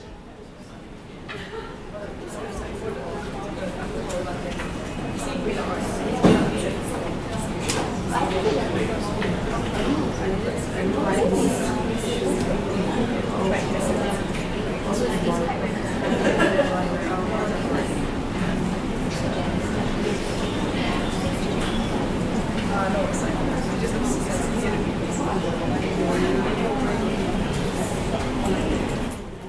Now, what we are going to do in the next step is we will move the part where we are asking user for a number to, to a function. So what we do is that here in the loop, we had, we had this line that says pick number between 0 and 100, and then we did secret uh, sorry, guess equals gets to i. So we basically had this part, the number, line number 4 and 5, inside the loop. What we do right now is that we move it to a separate function, which we call ask for number. And then, inside the loop, in line number 9, what we do is that to variable guess, we assign the result of the function that is called ask for number.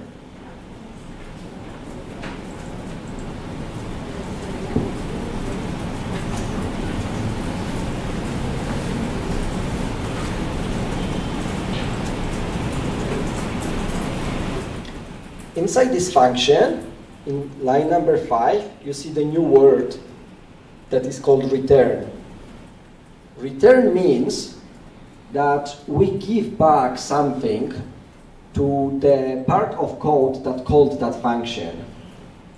So if in number 9 I call the function as I ask for number, and then that function will return to me the, the number that user, uh, that, user, that user input from, them from their keyboard. So the word return basically means return this to whoever called me.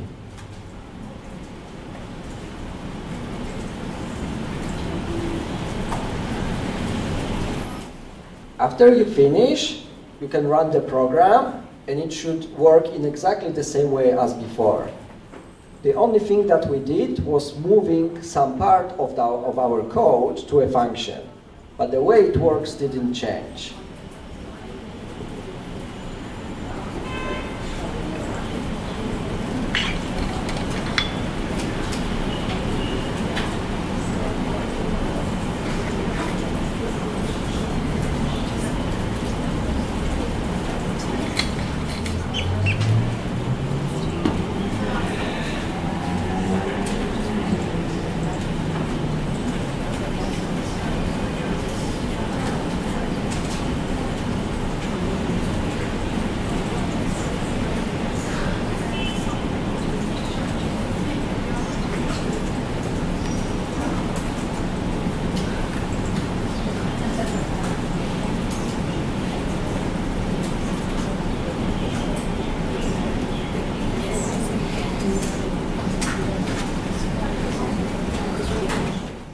When you're done, remember to run the program to make sure that it works.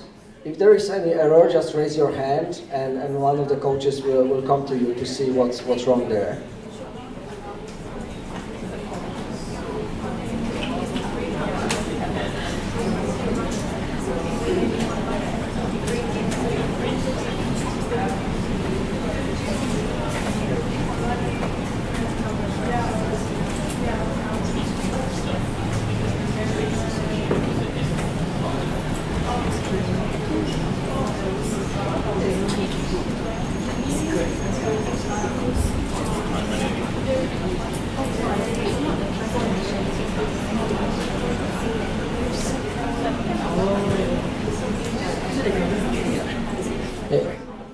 Point, our, guess, our, our game is basically complete, right?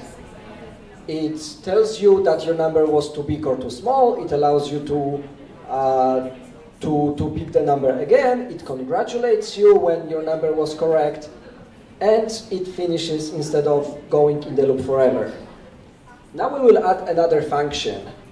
What we will do is, we will count the number of tries that you make before you guess the right number.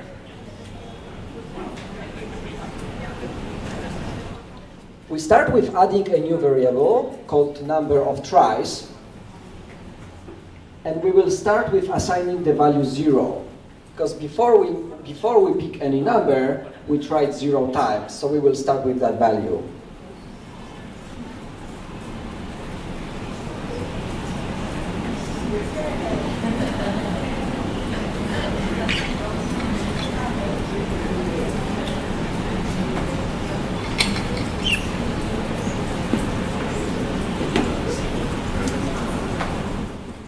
we need to do next is whenever user picks the number, we need to increase that value by one.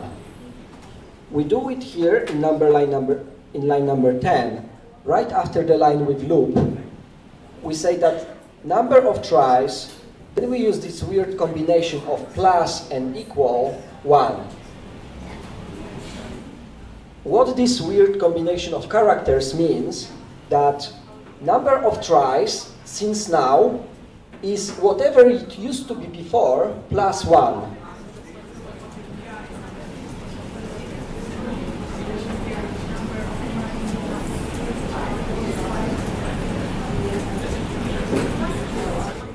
So that we can write it in two different ways.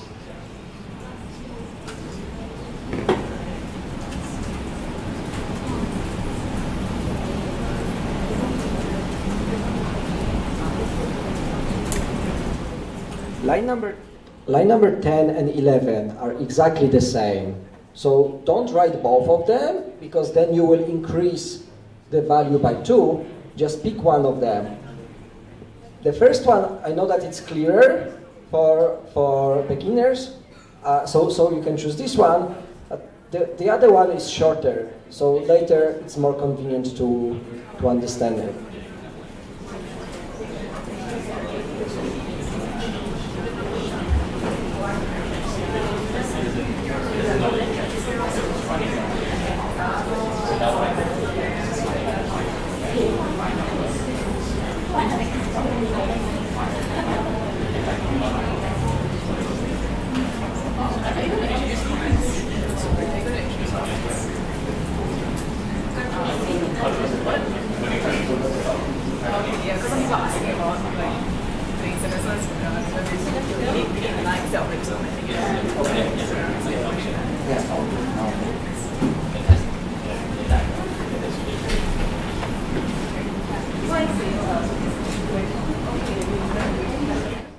What I will do now here in this code is that because I want you to show two different versions of how you can do it, but I don't want two of them to work. So I will just add in the beginning of the line this hash character. And what it means, if you put it in the beginning of the line, is that this will not matter for computer. So that Ruby, when executing this program, will ignore this line. So Basically, it is the same as if I removed it. The only difference is that it stays here. So maybe if something is not very clear, I can explain it here in the comment, but it will not be recognized, it will not be used by computer at all. Now what we did was creating a new variable, which is called number of tries, and then increasing its value with every iteration of the loop. What we want to do is to show the user how many tries they needed to guess the number. So what we need to add is another line that will say, you tried this number of times.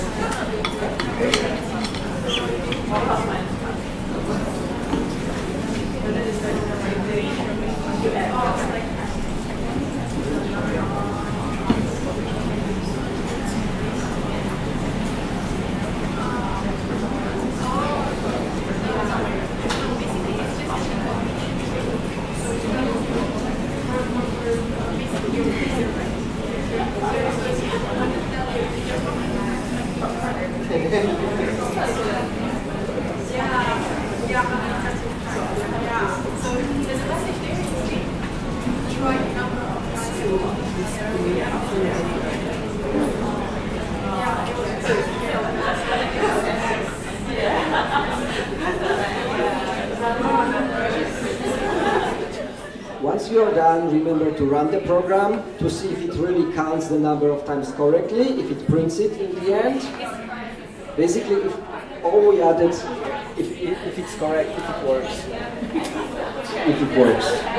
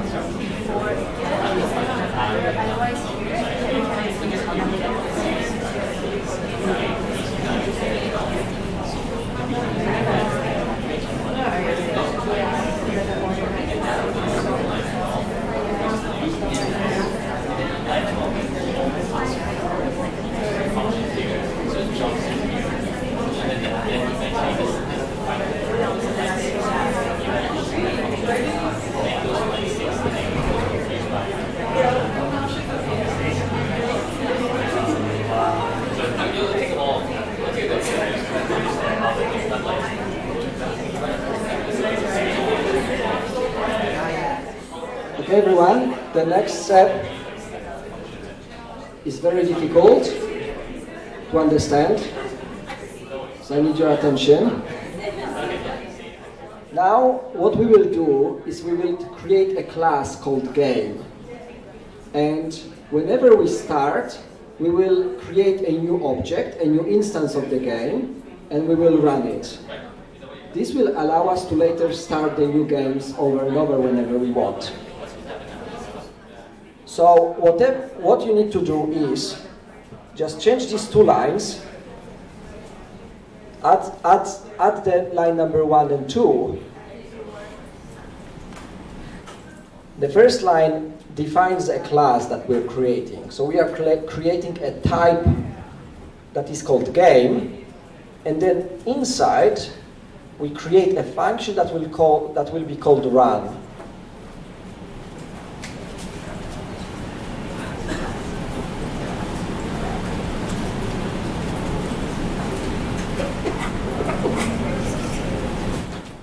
And then, as you remember, if we create a class or if we create a function, it starts with one line, but then it needs to end with, with, with the line with the keyword end. So if you go to the end of this, end of this file, I will just show it for a moment, you need to add these two ends here to, to finish the class and to finish the method. And then in the last line, we put game.new.run. I will go back here in a moment. Now I'll go to the beginning so that everyone can catch up.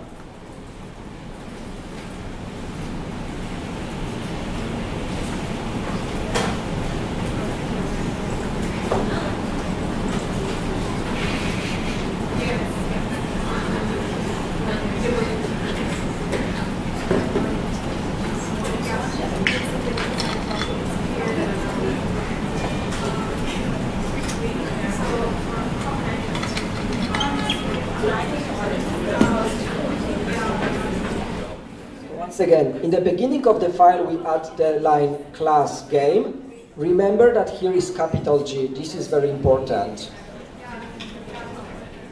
Inside we create method, uh, a function called run, and then we go to the end of the file and we add these three lines here. So we, we close the function with the word end. Later we close the class because the function was inside the class. And then at the very end of the file, we, we, we type game.new.run. And if you finish it and run the program, it should be exactly the same. Uh, sorry, I covered the text. It should work exactly the same as it did in the previous step. So it, need to, it should ask you for a number and it should give you a hint every time you, you don't guess.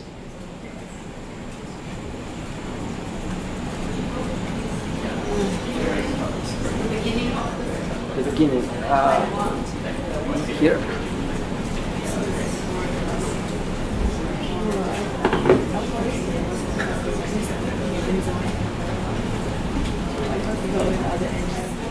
Okay, let me do it this way. On the left you've got beginning, and here on the right you've got end, so that everyone can, can see if it's correct there.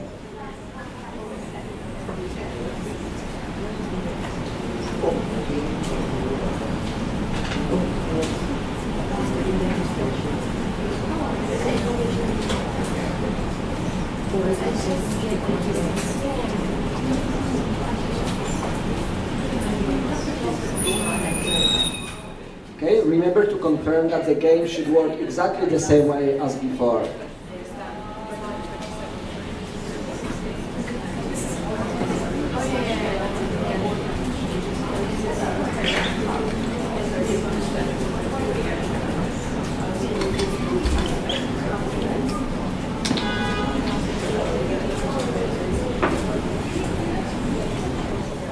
Okay, let me close this now will go to the next step.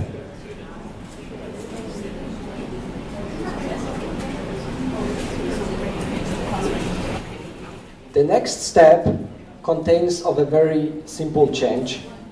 We create this function called initialize and we move choosing the secret and number of tries to this method.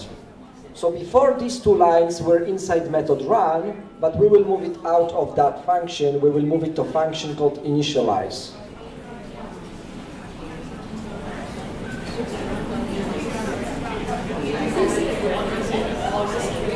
It's the next one.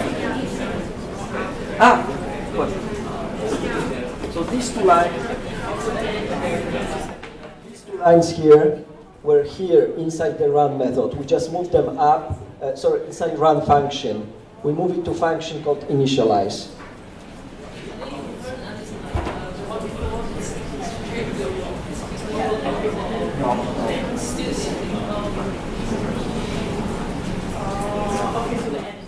After you finish, check if it works, if the game works the same way.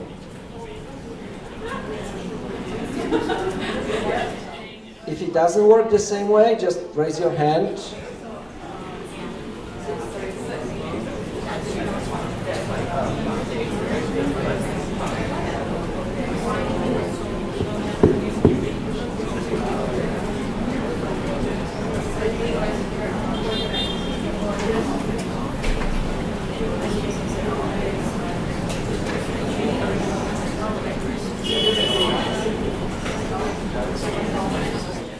A hint is that in this step the game shouldn't work the same way. I broke it on purpose. So if it works the same way that it used to before, this time it means that you did something wrong.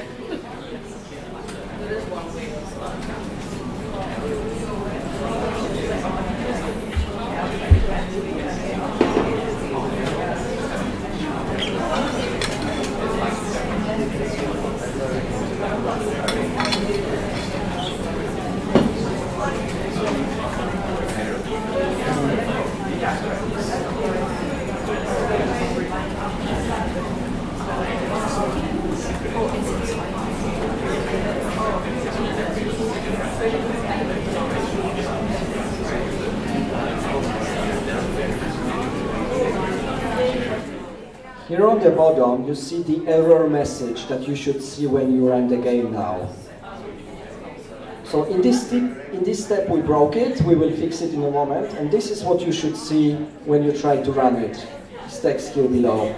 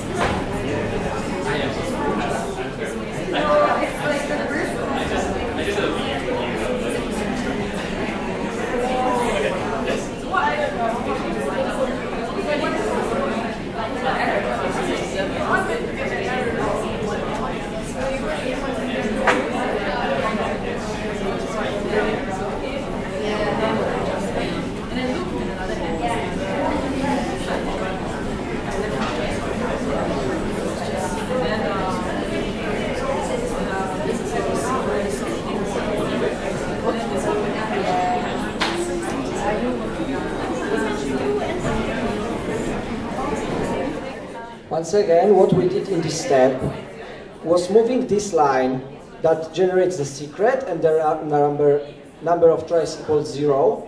We moved it from the, from the inside of the function run.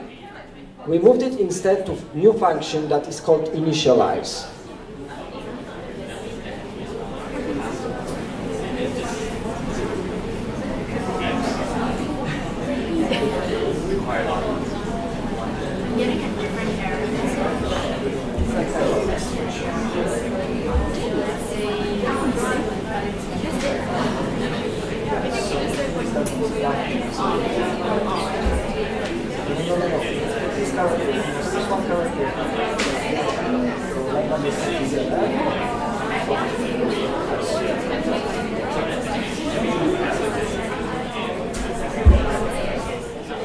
one of the most common mistakes that programmers make.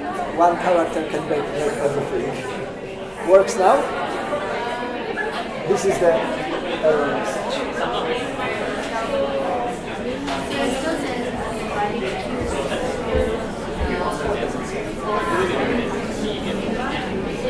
Yes, because it con- it should be gained of need of life.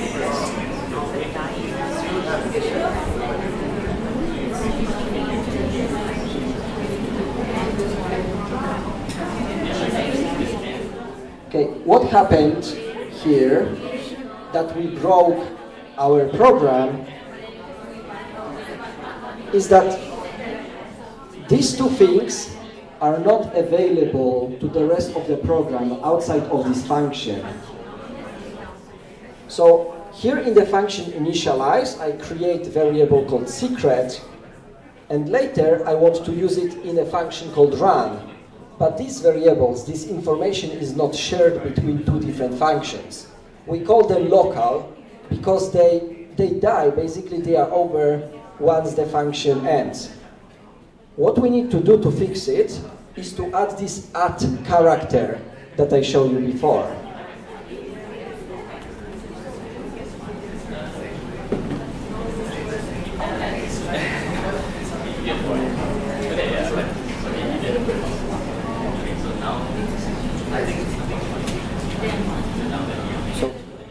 What we change here is that instead of just secret, we have at secret, and the same with number of tries.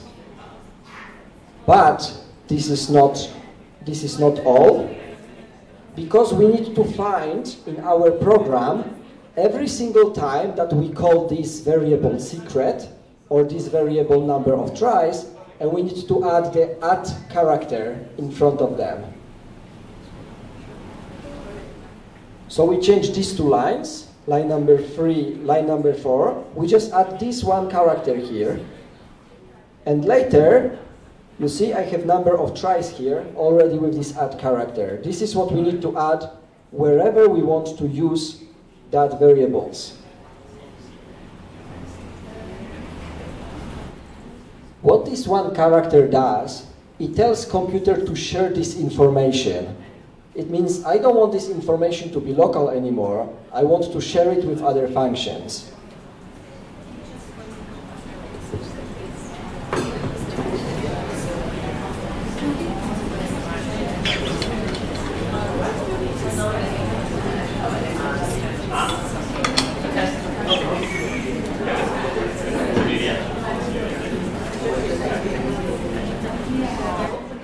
Once you finish and you run the program, now it should work correctly. It should ask you for a number and it should tell you when, when you won the game. If it doesn't, it means that you probably forgot to add this one character somewhere in the program.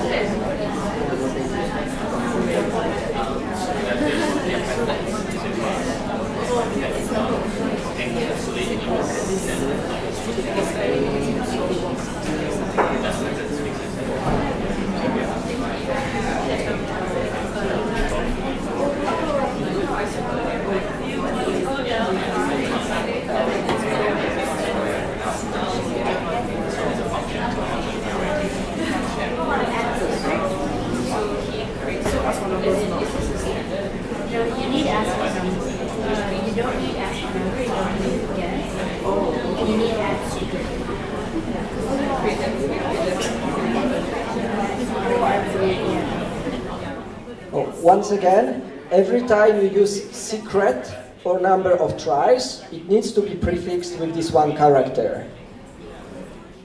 However, as you may see, we still have the variable guess here that we do not proceed with as one character. This is because we do not share this variable. variable. We just create it here inside this function. So two variables are shared, means number of tries and secret, and the guess variable is not shared because we create it every single time inside this function. Now, why do we do it this way?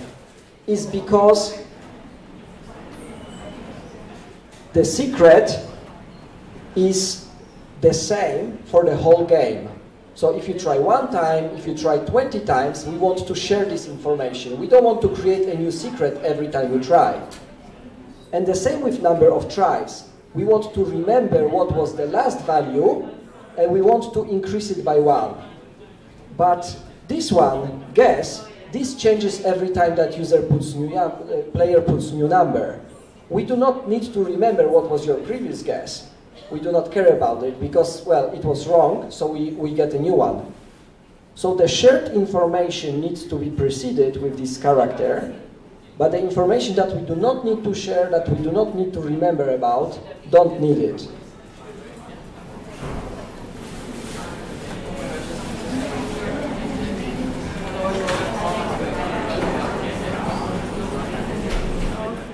Have you checked, have you confirmed that the game now works correctly? If it still doesn't work, raise your hand and the coach will, will come.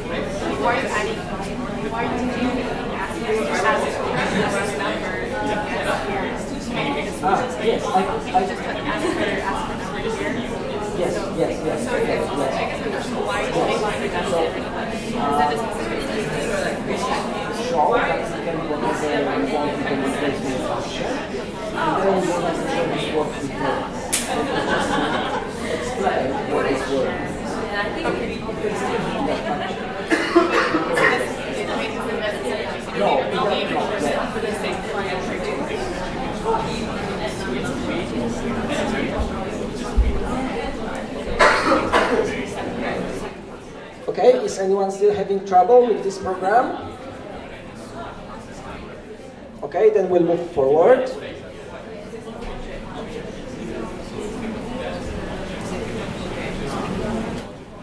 What we did uh, uh, right now is that we decided that users can choose, uh, players can choose peak number between 0 and 100. And now what we want to do is we want to allow them uh, to change it. So we will introduce something called constant. Constant is a value that we assign only once. Later we cannot change it. So the most common constant that you will see in computer programs is, for example, number pi.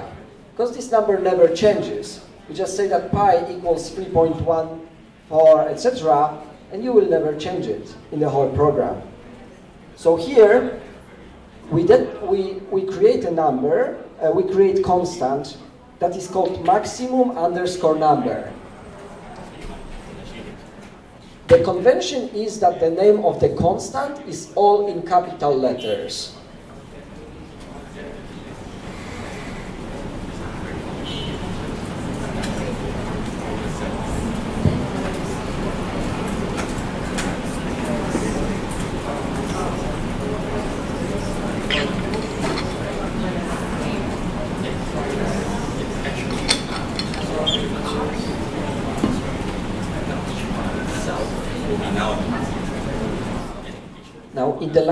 2 we only define this constant. We say that maximum number equals 200 in my case, you can choose any different number if you want. If you want the game to be more difficult, you can put 500. If you want it to be very easy, you can put number 10.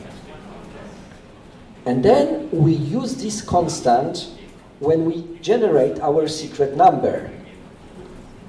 So as you know before here, we had 101 if we put 101, it means that we will pick a number that will be no greater, no bigger than, than, than 101. So it will be from 0 to 100. So now we replace that 101 with our maximum number plus 1.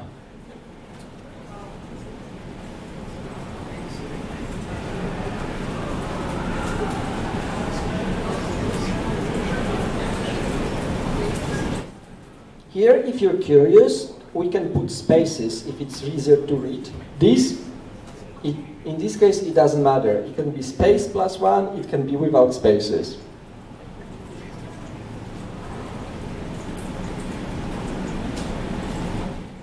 And the last change we do is, if you will see number 12, that says peak number between 0 and 100, even if our maximum number is 200 or 300, we still, say, we still tell user choose number between 0 and 100, which is misleading because your user will say 100 and we will say, for example, number is small. So what we do is that we make this value dynamic. We use this character hash and then we open curly braces and we put the maximum number. What it means is that if we change this single constant here, let's say I change it to 300, both secret number will be picked from 0 to 300 and the information to the player will change automatically. Otherwise, it's difficult to remember that we need to have the same number in two places. Here we just change it once and it changes everywhere we wanted it to change.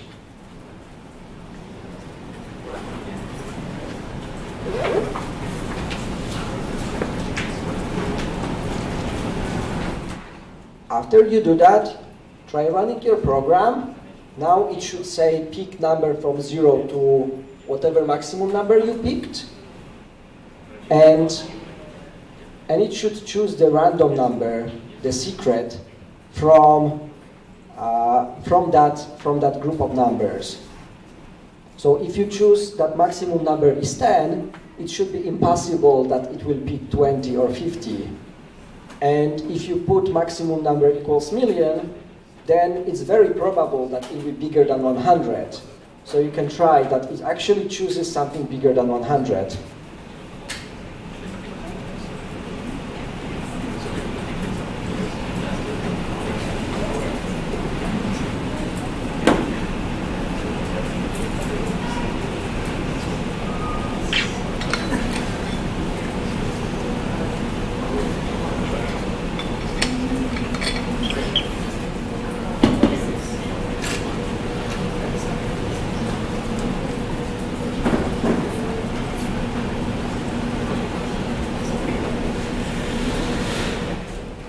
Just to repeat what, is, what, are, what are the differences here.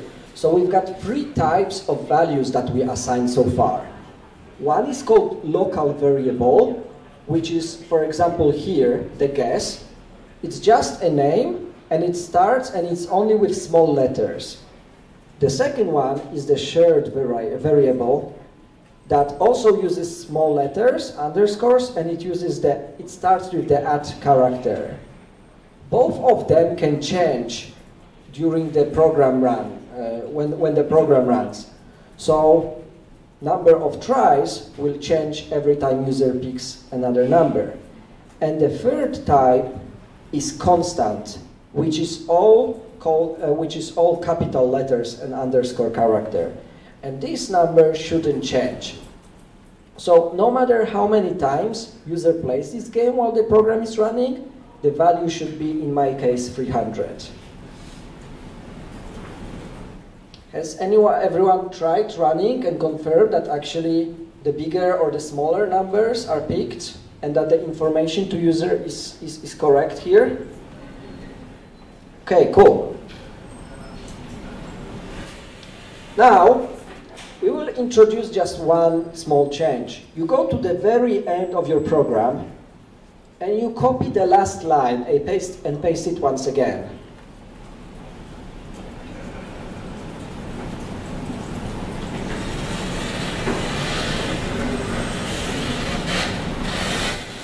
Just this one simple change. Just repeat the last line and try to run, run the program and see what happens.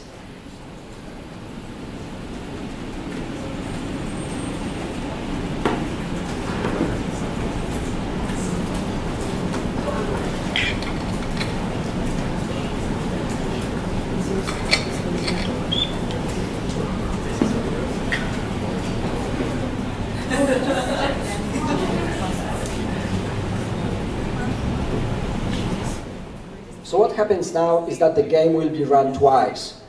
Once you win the game for the first time, it will pick another secret number and it will, it will start the game second time. And after you win second time, it will just close the program. So this is already better than playing just once and, and having to run the program again. Imagine that you play, I don't know, some solitaire or minesweeper on Windows during work and you win the game and the window automatically closes and you have to go to the start menu again and, and, and choose it. It's pretty annoying. So what we are trying to achieve is to run it as many times as we want. We started with very simple change to run it twice, but this is not enough. We want to play it infinitely long.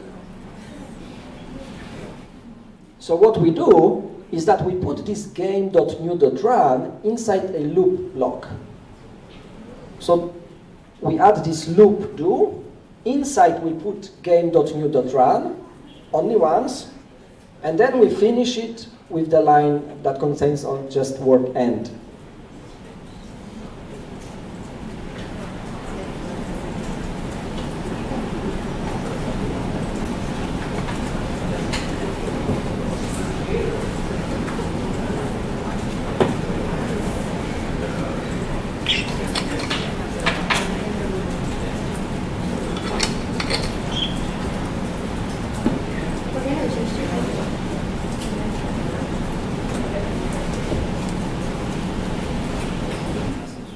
So our previous version was to get to run the game twice, and if we wanted it to run this way but infinite number of times, we would have to just copy that line over and over and over. But what we can do instead is we can use this word loop that we already use when we ask user to pick a number.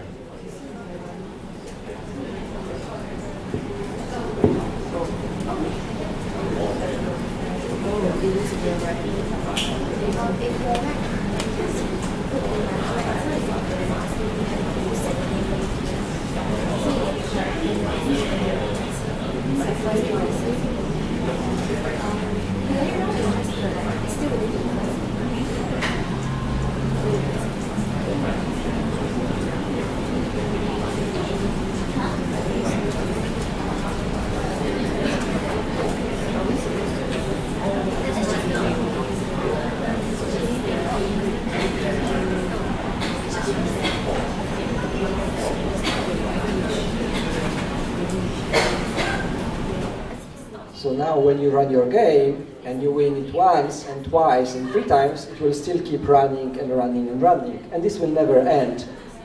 Unless, as uh, a few steps before, you press the control on your keyboard, the CTRL uh, button, you hold it and you press letter C.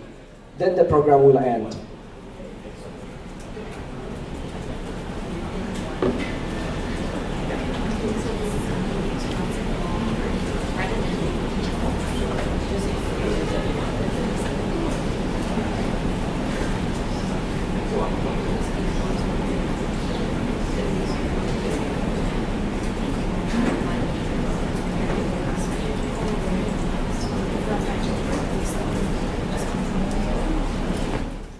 Okay, now there is a big change, so pay attention. What we will do is we will ask player before every game if she wants to play or if she wants to quit the game. So first we add this inside the loop at the end of your file. This is the end of the file. Inside the loop, first we add these three lines. I will say, what do you want to do? One, play, zero, exit.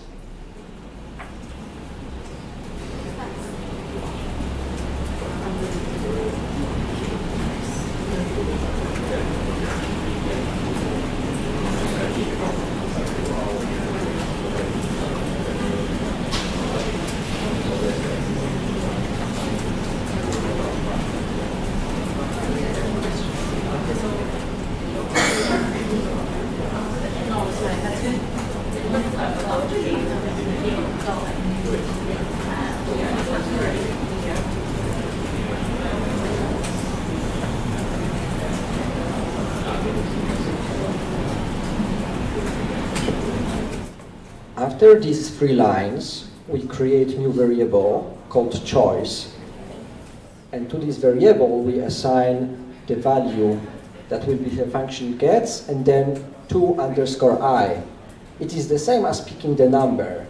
We take whatever user puts, uh, uh, presses on the keyboard and then we convert it to a number.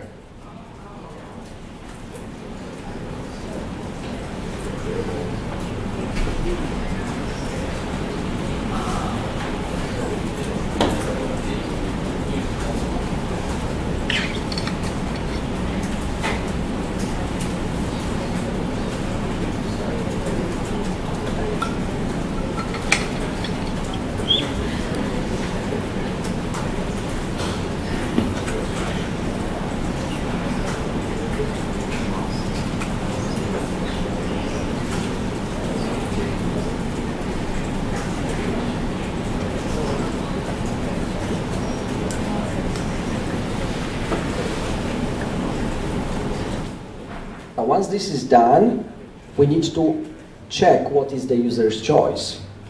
So if the player chooses one, so we do this if block. If the choice of the user, then we use double equals character. If the choice is one, then we will put game.new.run. And in the next line, we say else, if the choice is zero, then break. The break, as you know, will let us go out of this infinite loop. So it's the same what we use when user wins the game. We say, yes, you won, and then we break to finish this infinite loop. And then we add one more end, because at the end of each if condition needs to be this line with the word end.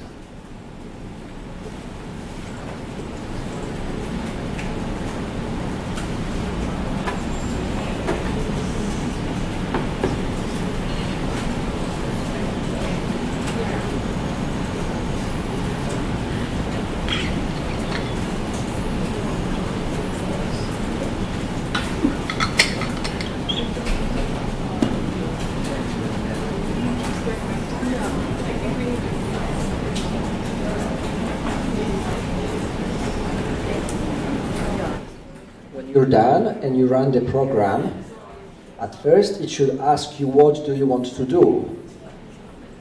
and try different options. Try to say one, try zero, try three, try some ABC text or, or something else and see how the program behaves.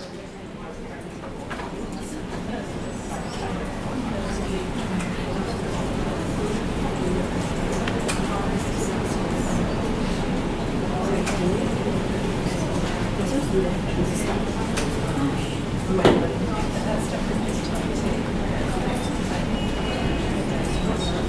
think so.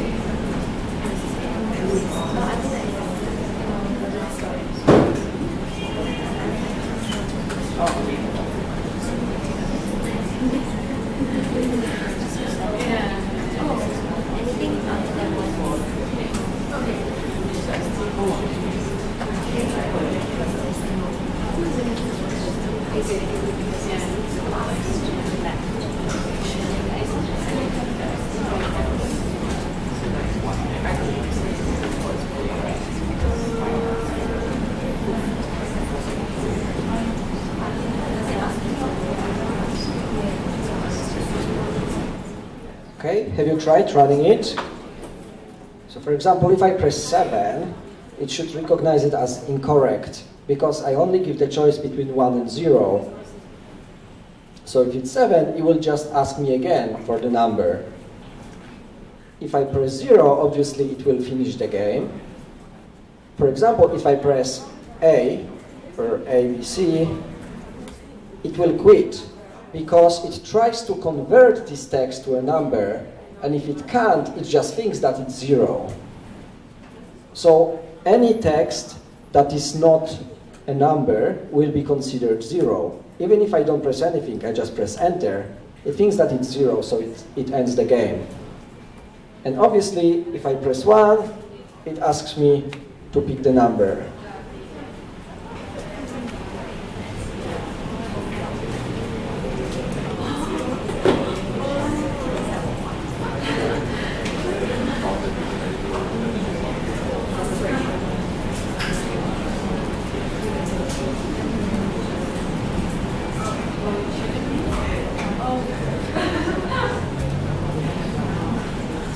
Right.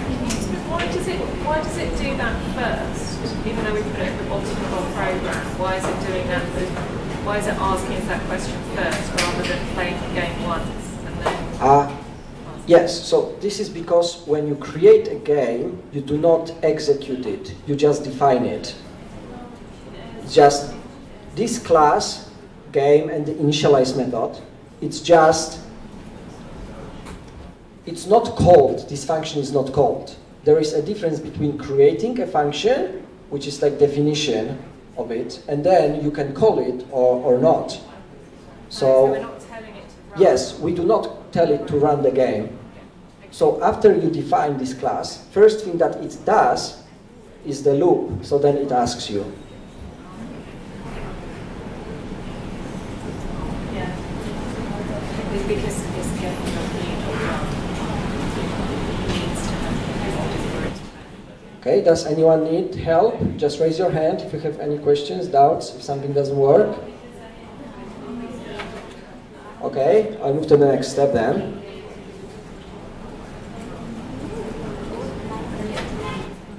The next step will be to show the player what number they, what numbers they tried before guessing the right one. For this, we will use a new data type that we haven't defined yet. So in here inside the initialize method, we create new variable called previous tries. And to this variable, we assign these two characters. These are two square brackets, beginning of the uh, beginning and the end. What this represents is the data type called array, or otherwise you can think of it as a list. So the previous tries will start, the first value of this variable will be empty list. This list doesn't contain any elements. So this is not a square. These are like two characters.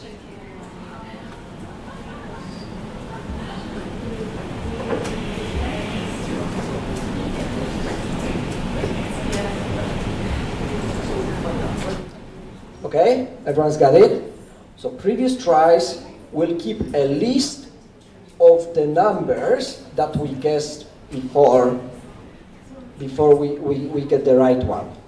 So now once we have it, what we do is we go to this first loop. This is line number, uh, line number 20.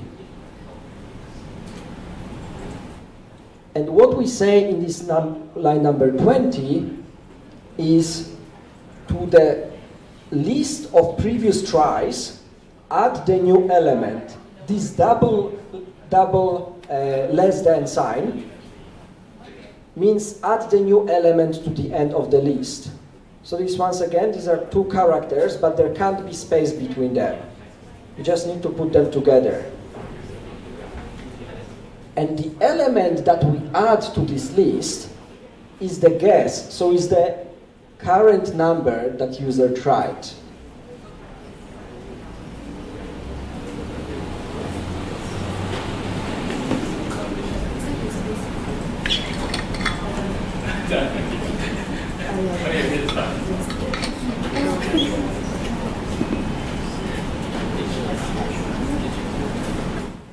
Okay, so, far we did two things. We created a list, the empty list, that will keep the information about all the tries that user makes, and then we, whenever user is asked for number and picks the number, we add this number to the list to remember what were the previous tries. So if you run the program now, it will do the same what it did before, because we never show this information to the user. So we collect this list, but we never show it. That's why, to show it, we need to go to the place where user is informed about the, the right guess. So it's line number 2728. After the information you, tr you tried a number of times, we add another. Your tries were, and then we, then we tell user, then we tell the player what were their previous tries.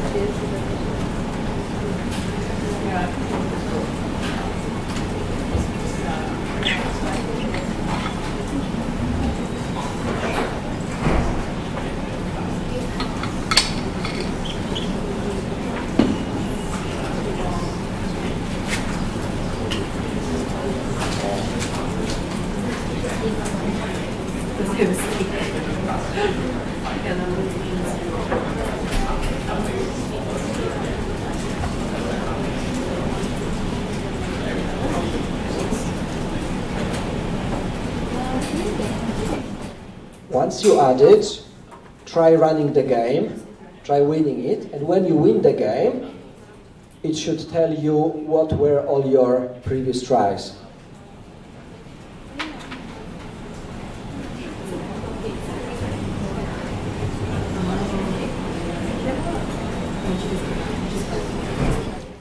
If you are running the game, remember to set the max number to something pretty low, like 1 or 200, because if you set it to million, it will take you some time to win it.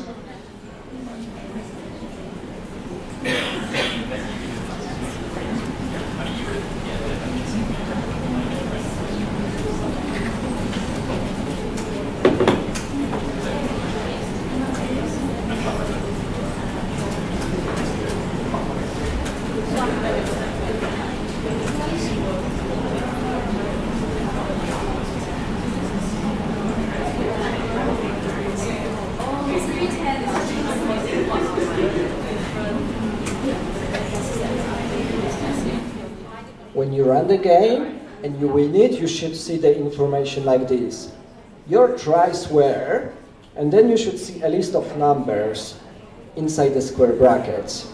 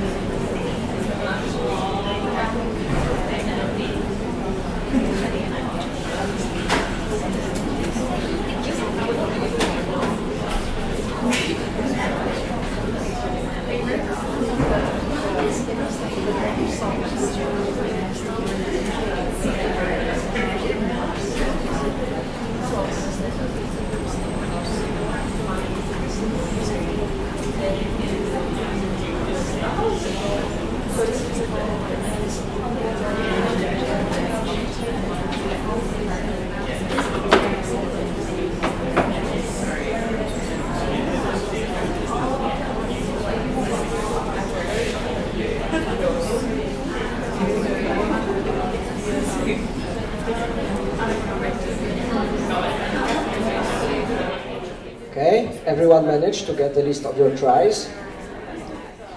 So what you see now on the screen is this list that is represented uh, by these square brackets characters. But this is not something that we want to see. So what we will do is we will format this list to be displayed only as a series of numbers as you would see it in a, in a newspaper or in a book without these square, bra square brackets. To do this, we need just one change. Go to the line that says what were the previous tries, and then after, after the previous tries, after this variable, write this dot join, and in the in the parentheses, just write double quote, comma, and space. Uh, let me. I will finish this.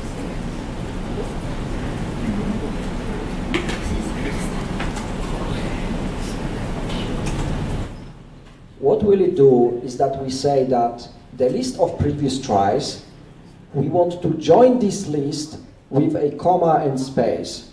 So instead of a list, we will have a text, we will have a string of characters that will, that will consist of all these elements connected with comma and, and space.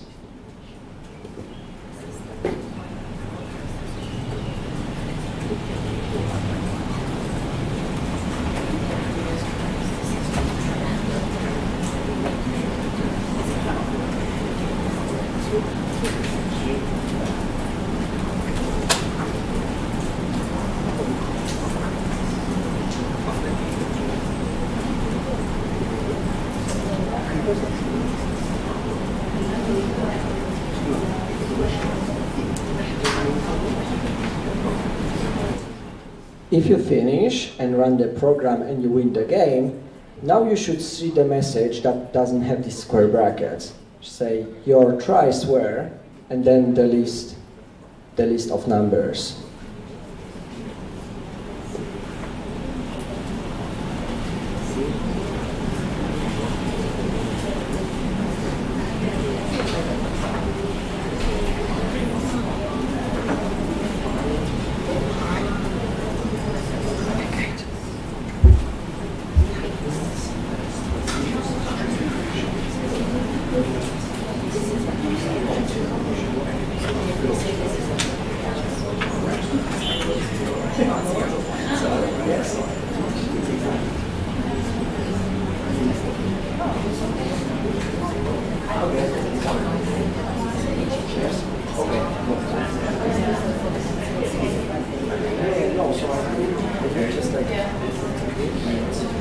Okay,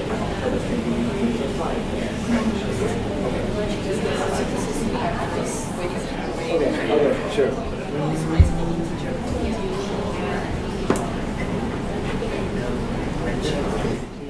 Okay, everyone got it? The clear, nice list of characters, of, of numbers without the square brackets.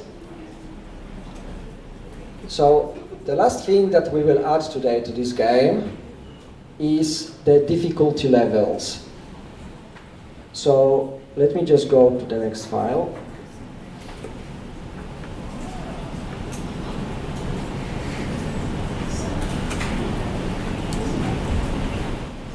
Okay.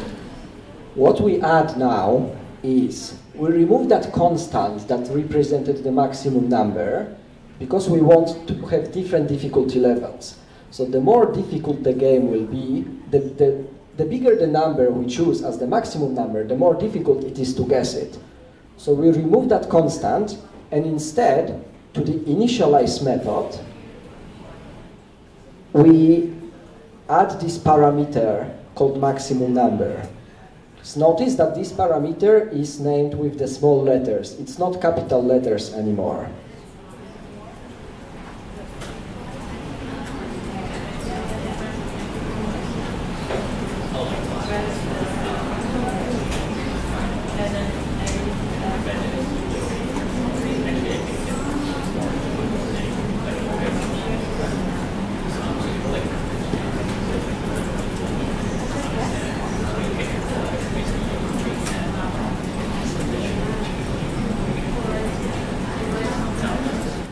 Once we, once we add this parameter, we need to assign it here in the line number 3 to this variable with the add character so that we can share it between the functions.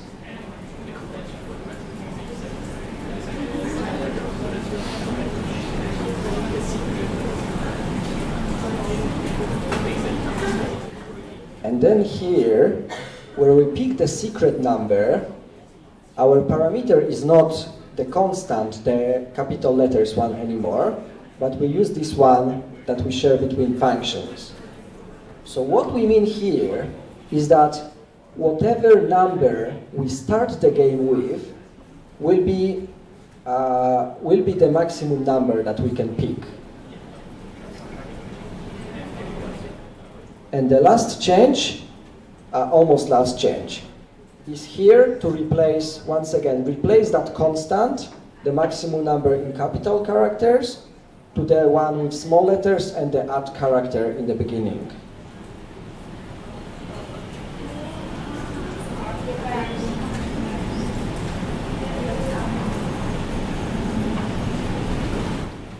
Now you can try running the program and it should, it should show you an error. So if you run it and it works, it's wrong.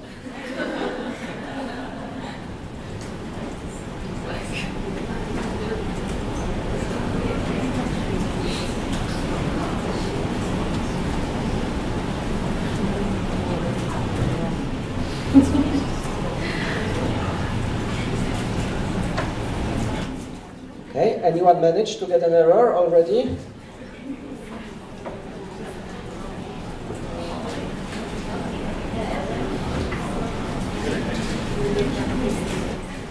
Okay, so the change that we need to add to fix that program is to provide the value for this maximum number. What I mean is, if you go to the end of the file, oh it's not this one. Let me fix it.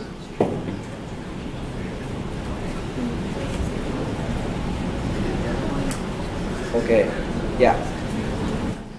So your program has game.new.run, but because the initialize function requires a parameter now, we need to give it some value that will represent this maximum number.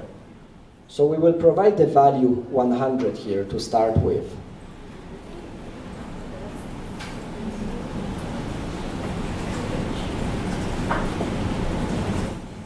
Now if you add this 100 here in parentheses, the game should work again. Remember that it's very important what is the order here. So it's game.new, then it's the value, 100, and then it's dot run.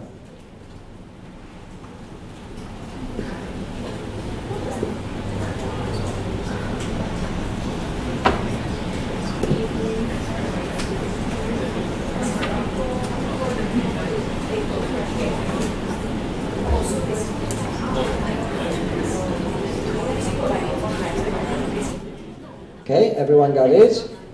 So at the beginning of the file, we change the first three lines. We add the maximum number parameter, we assign it to the shared variable with the add character. And wherever in the program we had the capital letters maximum number, we need to replace it with the one small letters and the add character. So it's here where we pick the secret, and it's here where we display the maximum number to the player so that they know what is the maximum number they can pick.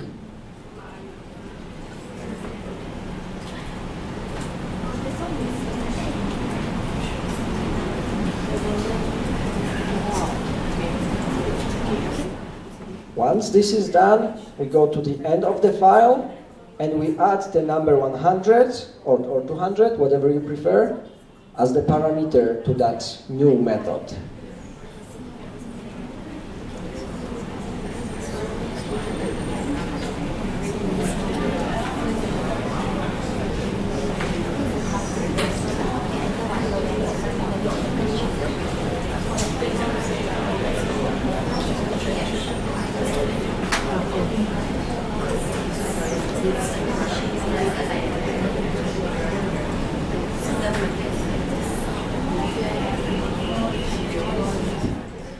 Anyone is struggling with something? Anyone needs help? Just raise your hand.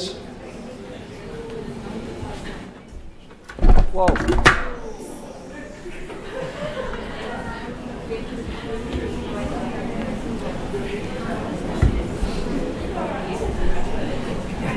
Sorry. I think I unplugged it or not. Yes, I'm pretty sure I did. Okay.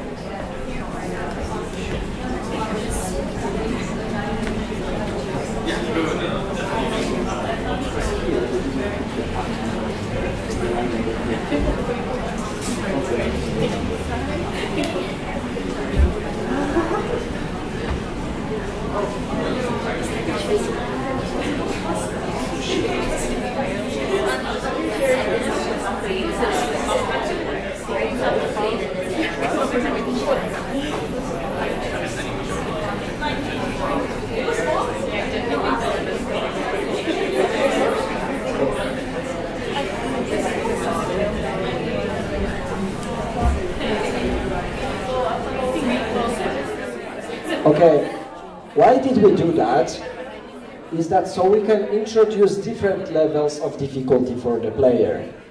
So the next step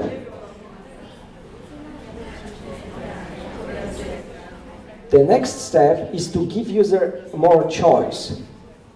So what I do here is that I say, if you press 1, we will play easy level.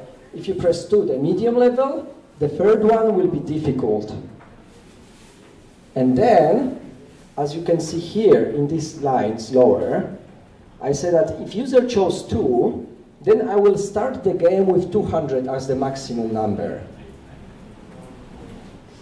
If they start with 3, uh, if they choose 3, then, then the maximum number is 300. So now instead of two options, user has four. They can play one of three level of difficulties, and they can exit the game.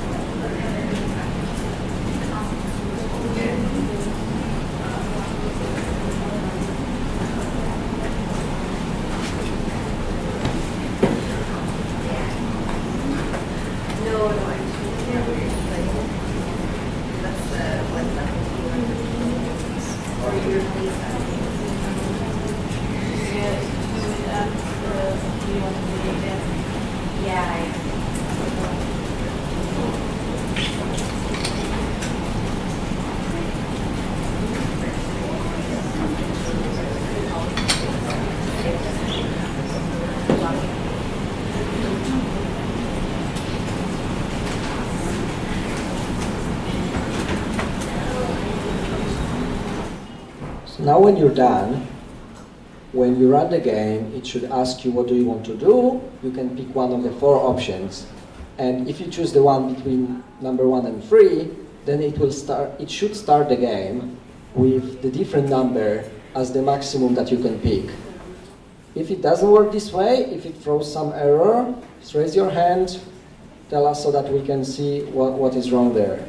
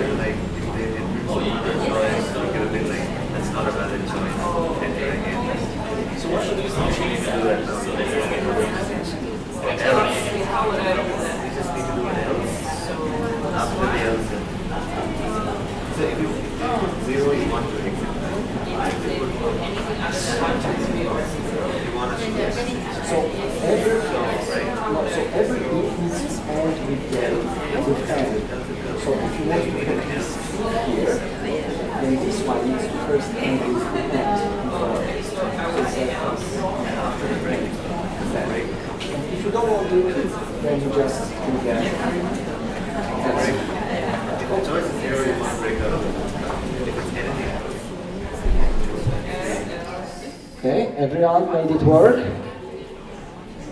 Does anyone need any help? Just raise your hand.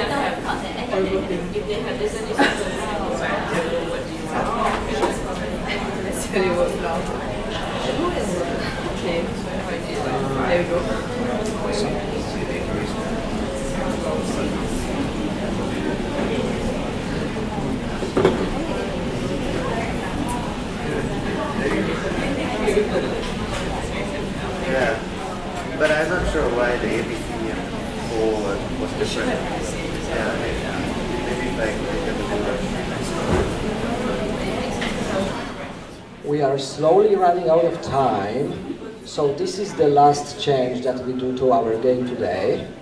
we will not publish our code, but in the email later, Elisha will send you a link to the video that will show you how to push, how to publish this code online.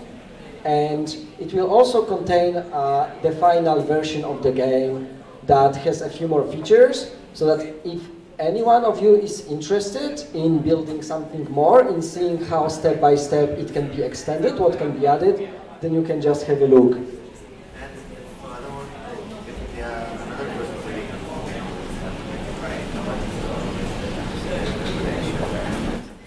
So we did the first version of the game that had the very basic functionality. We did the, we did the version number two that the program tells the player how many tries did it take to guess the correct number and what were the previous tries. The one that you will get online is, uh, is a bit more advanced. It will remember the name of the player and their, their result. Then in the, in the email, you will get information about how to use the software called Git and GitHub to publish the code online. So this is used for when, whenever a team works on a software, we just share the code between us with, with this software. Uh, that is all from, from for now. Uh, if you have any questions, just later reach me or any other coaches. Uh, for now, I just want to thank you for coming today and ask for some applause for the coaches that were helping today.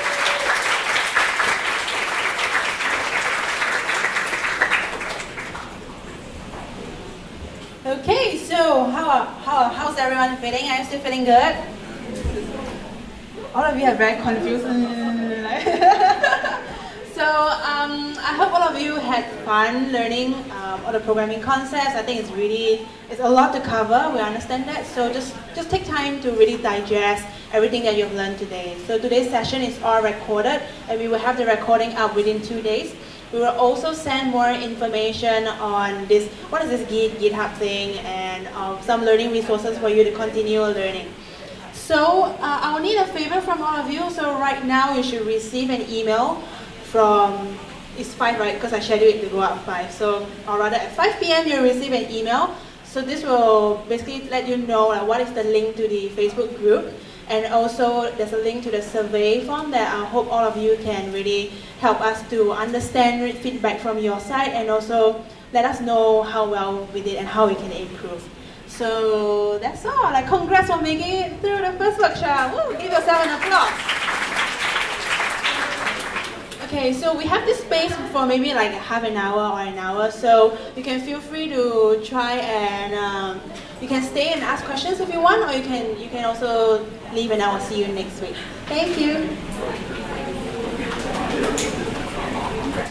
Uh, oh, okay, we're gonna take another photo. This time it's not 360, but just a regular photo. Uh, Joel, do you want to come here to? How do you want to coordinate?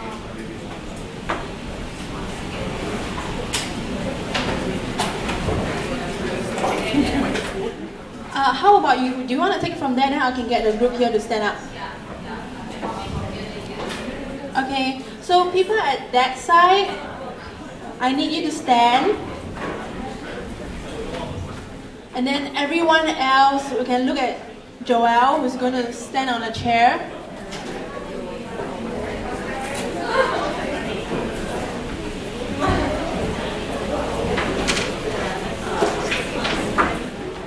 Okay, everyone, let's look at Joel and, and look happy, like not you're not brain dead after three hours of workshop.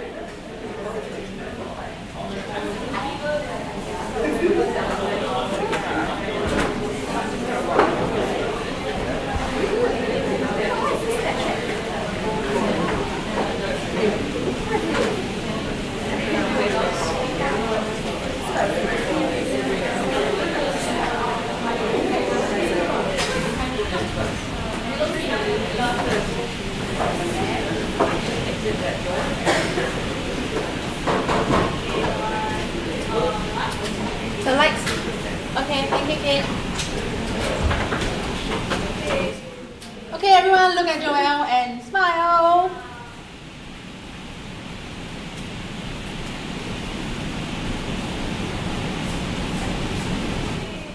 Thank you so much.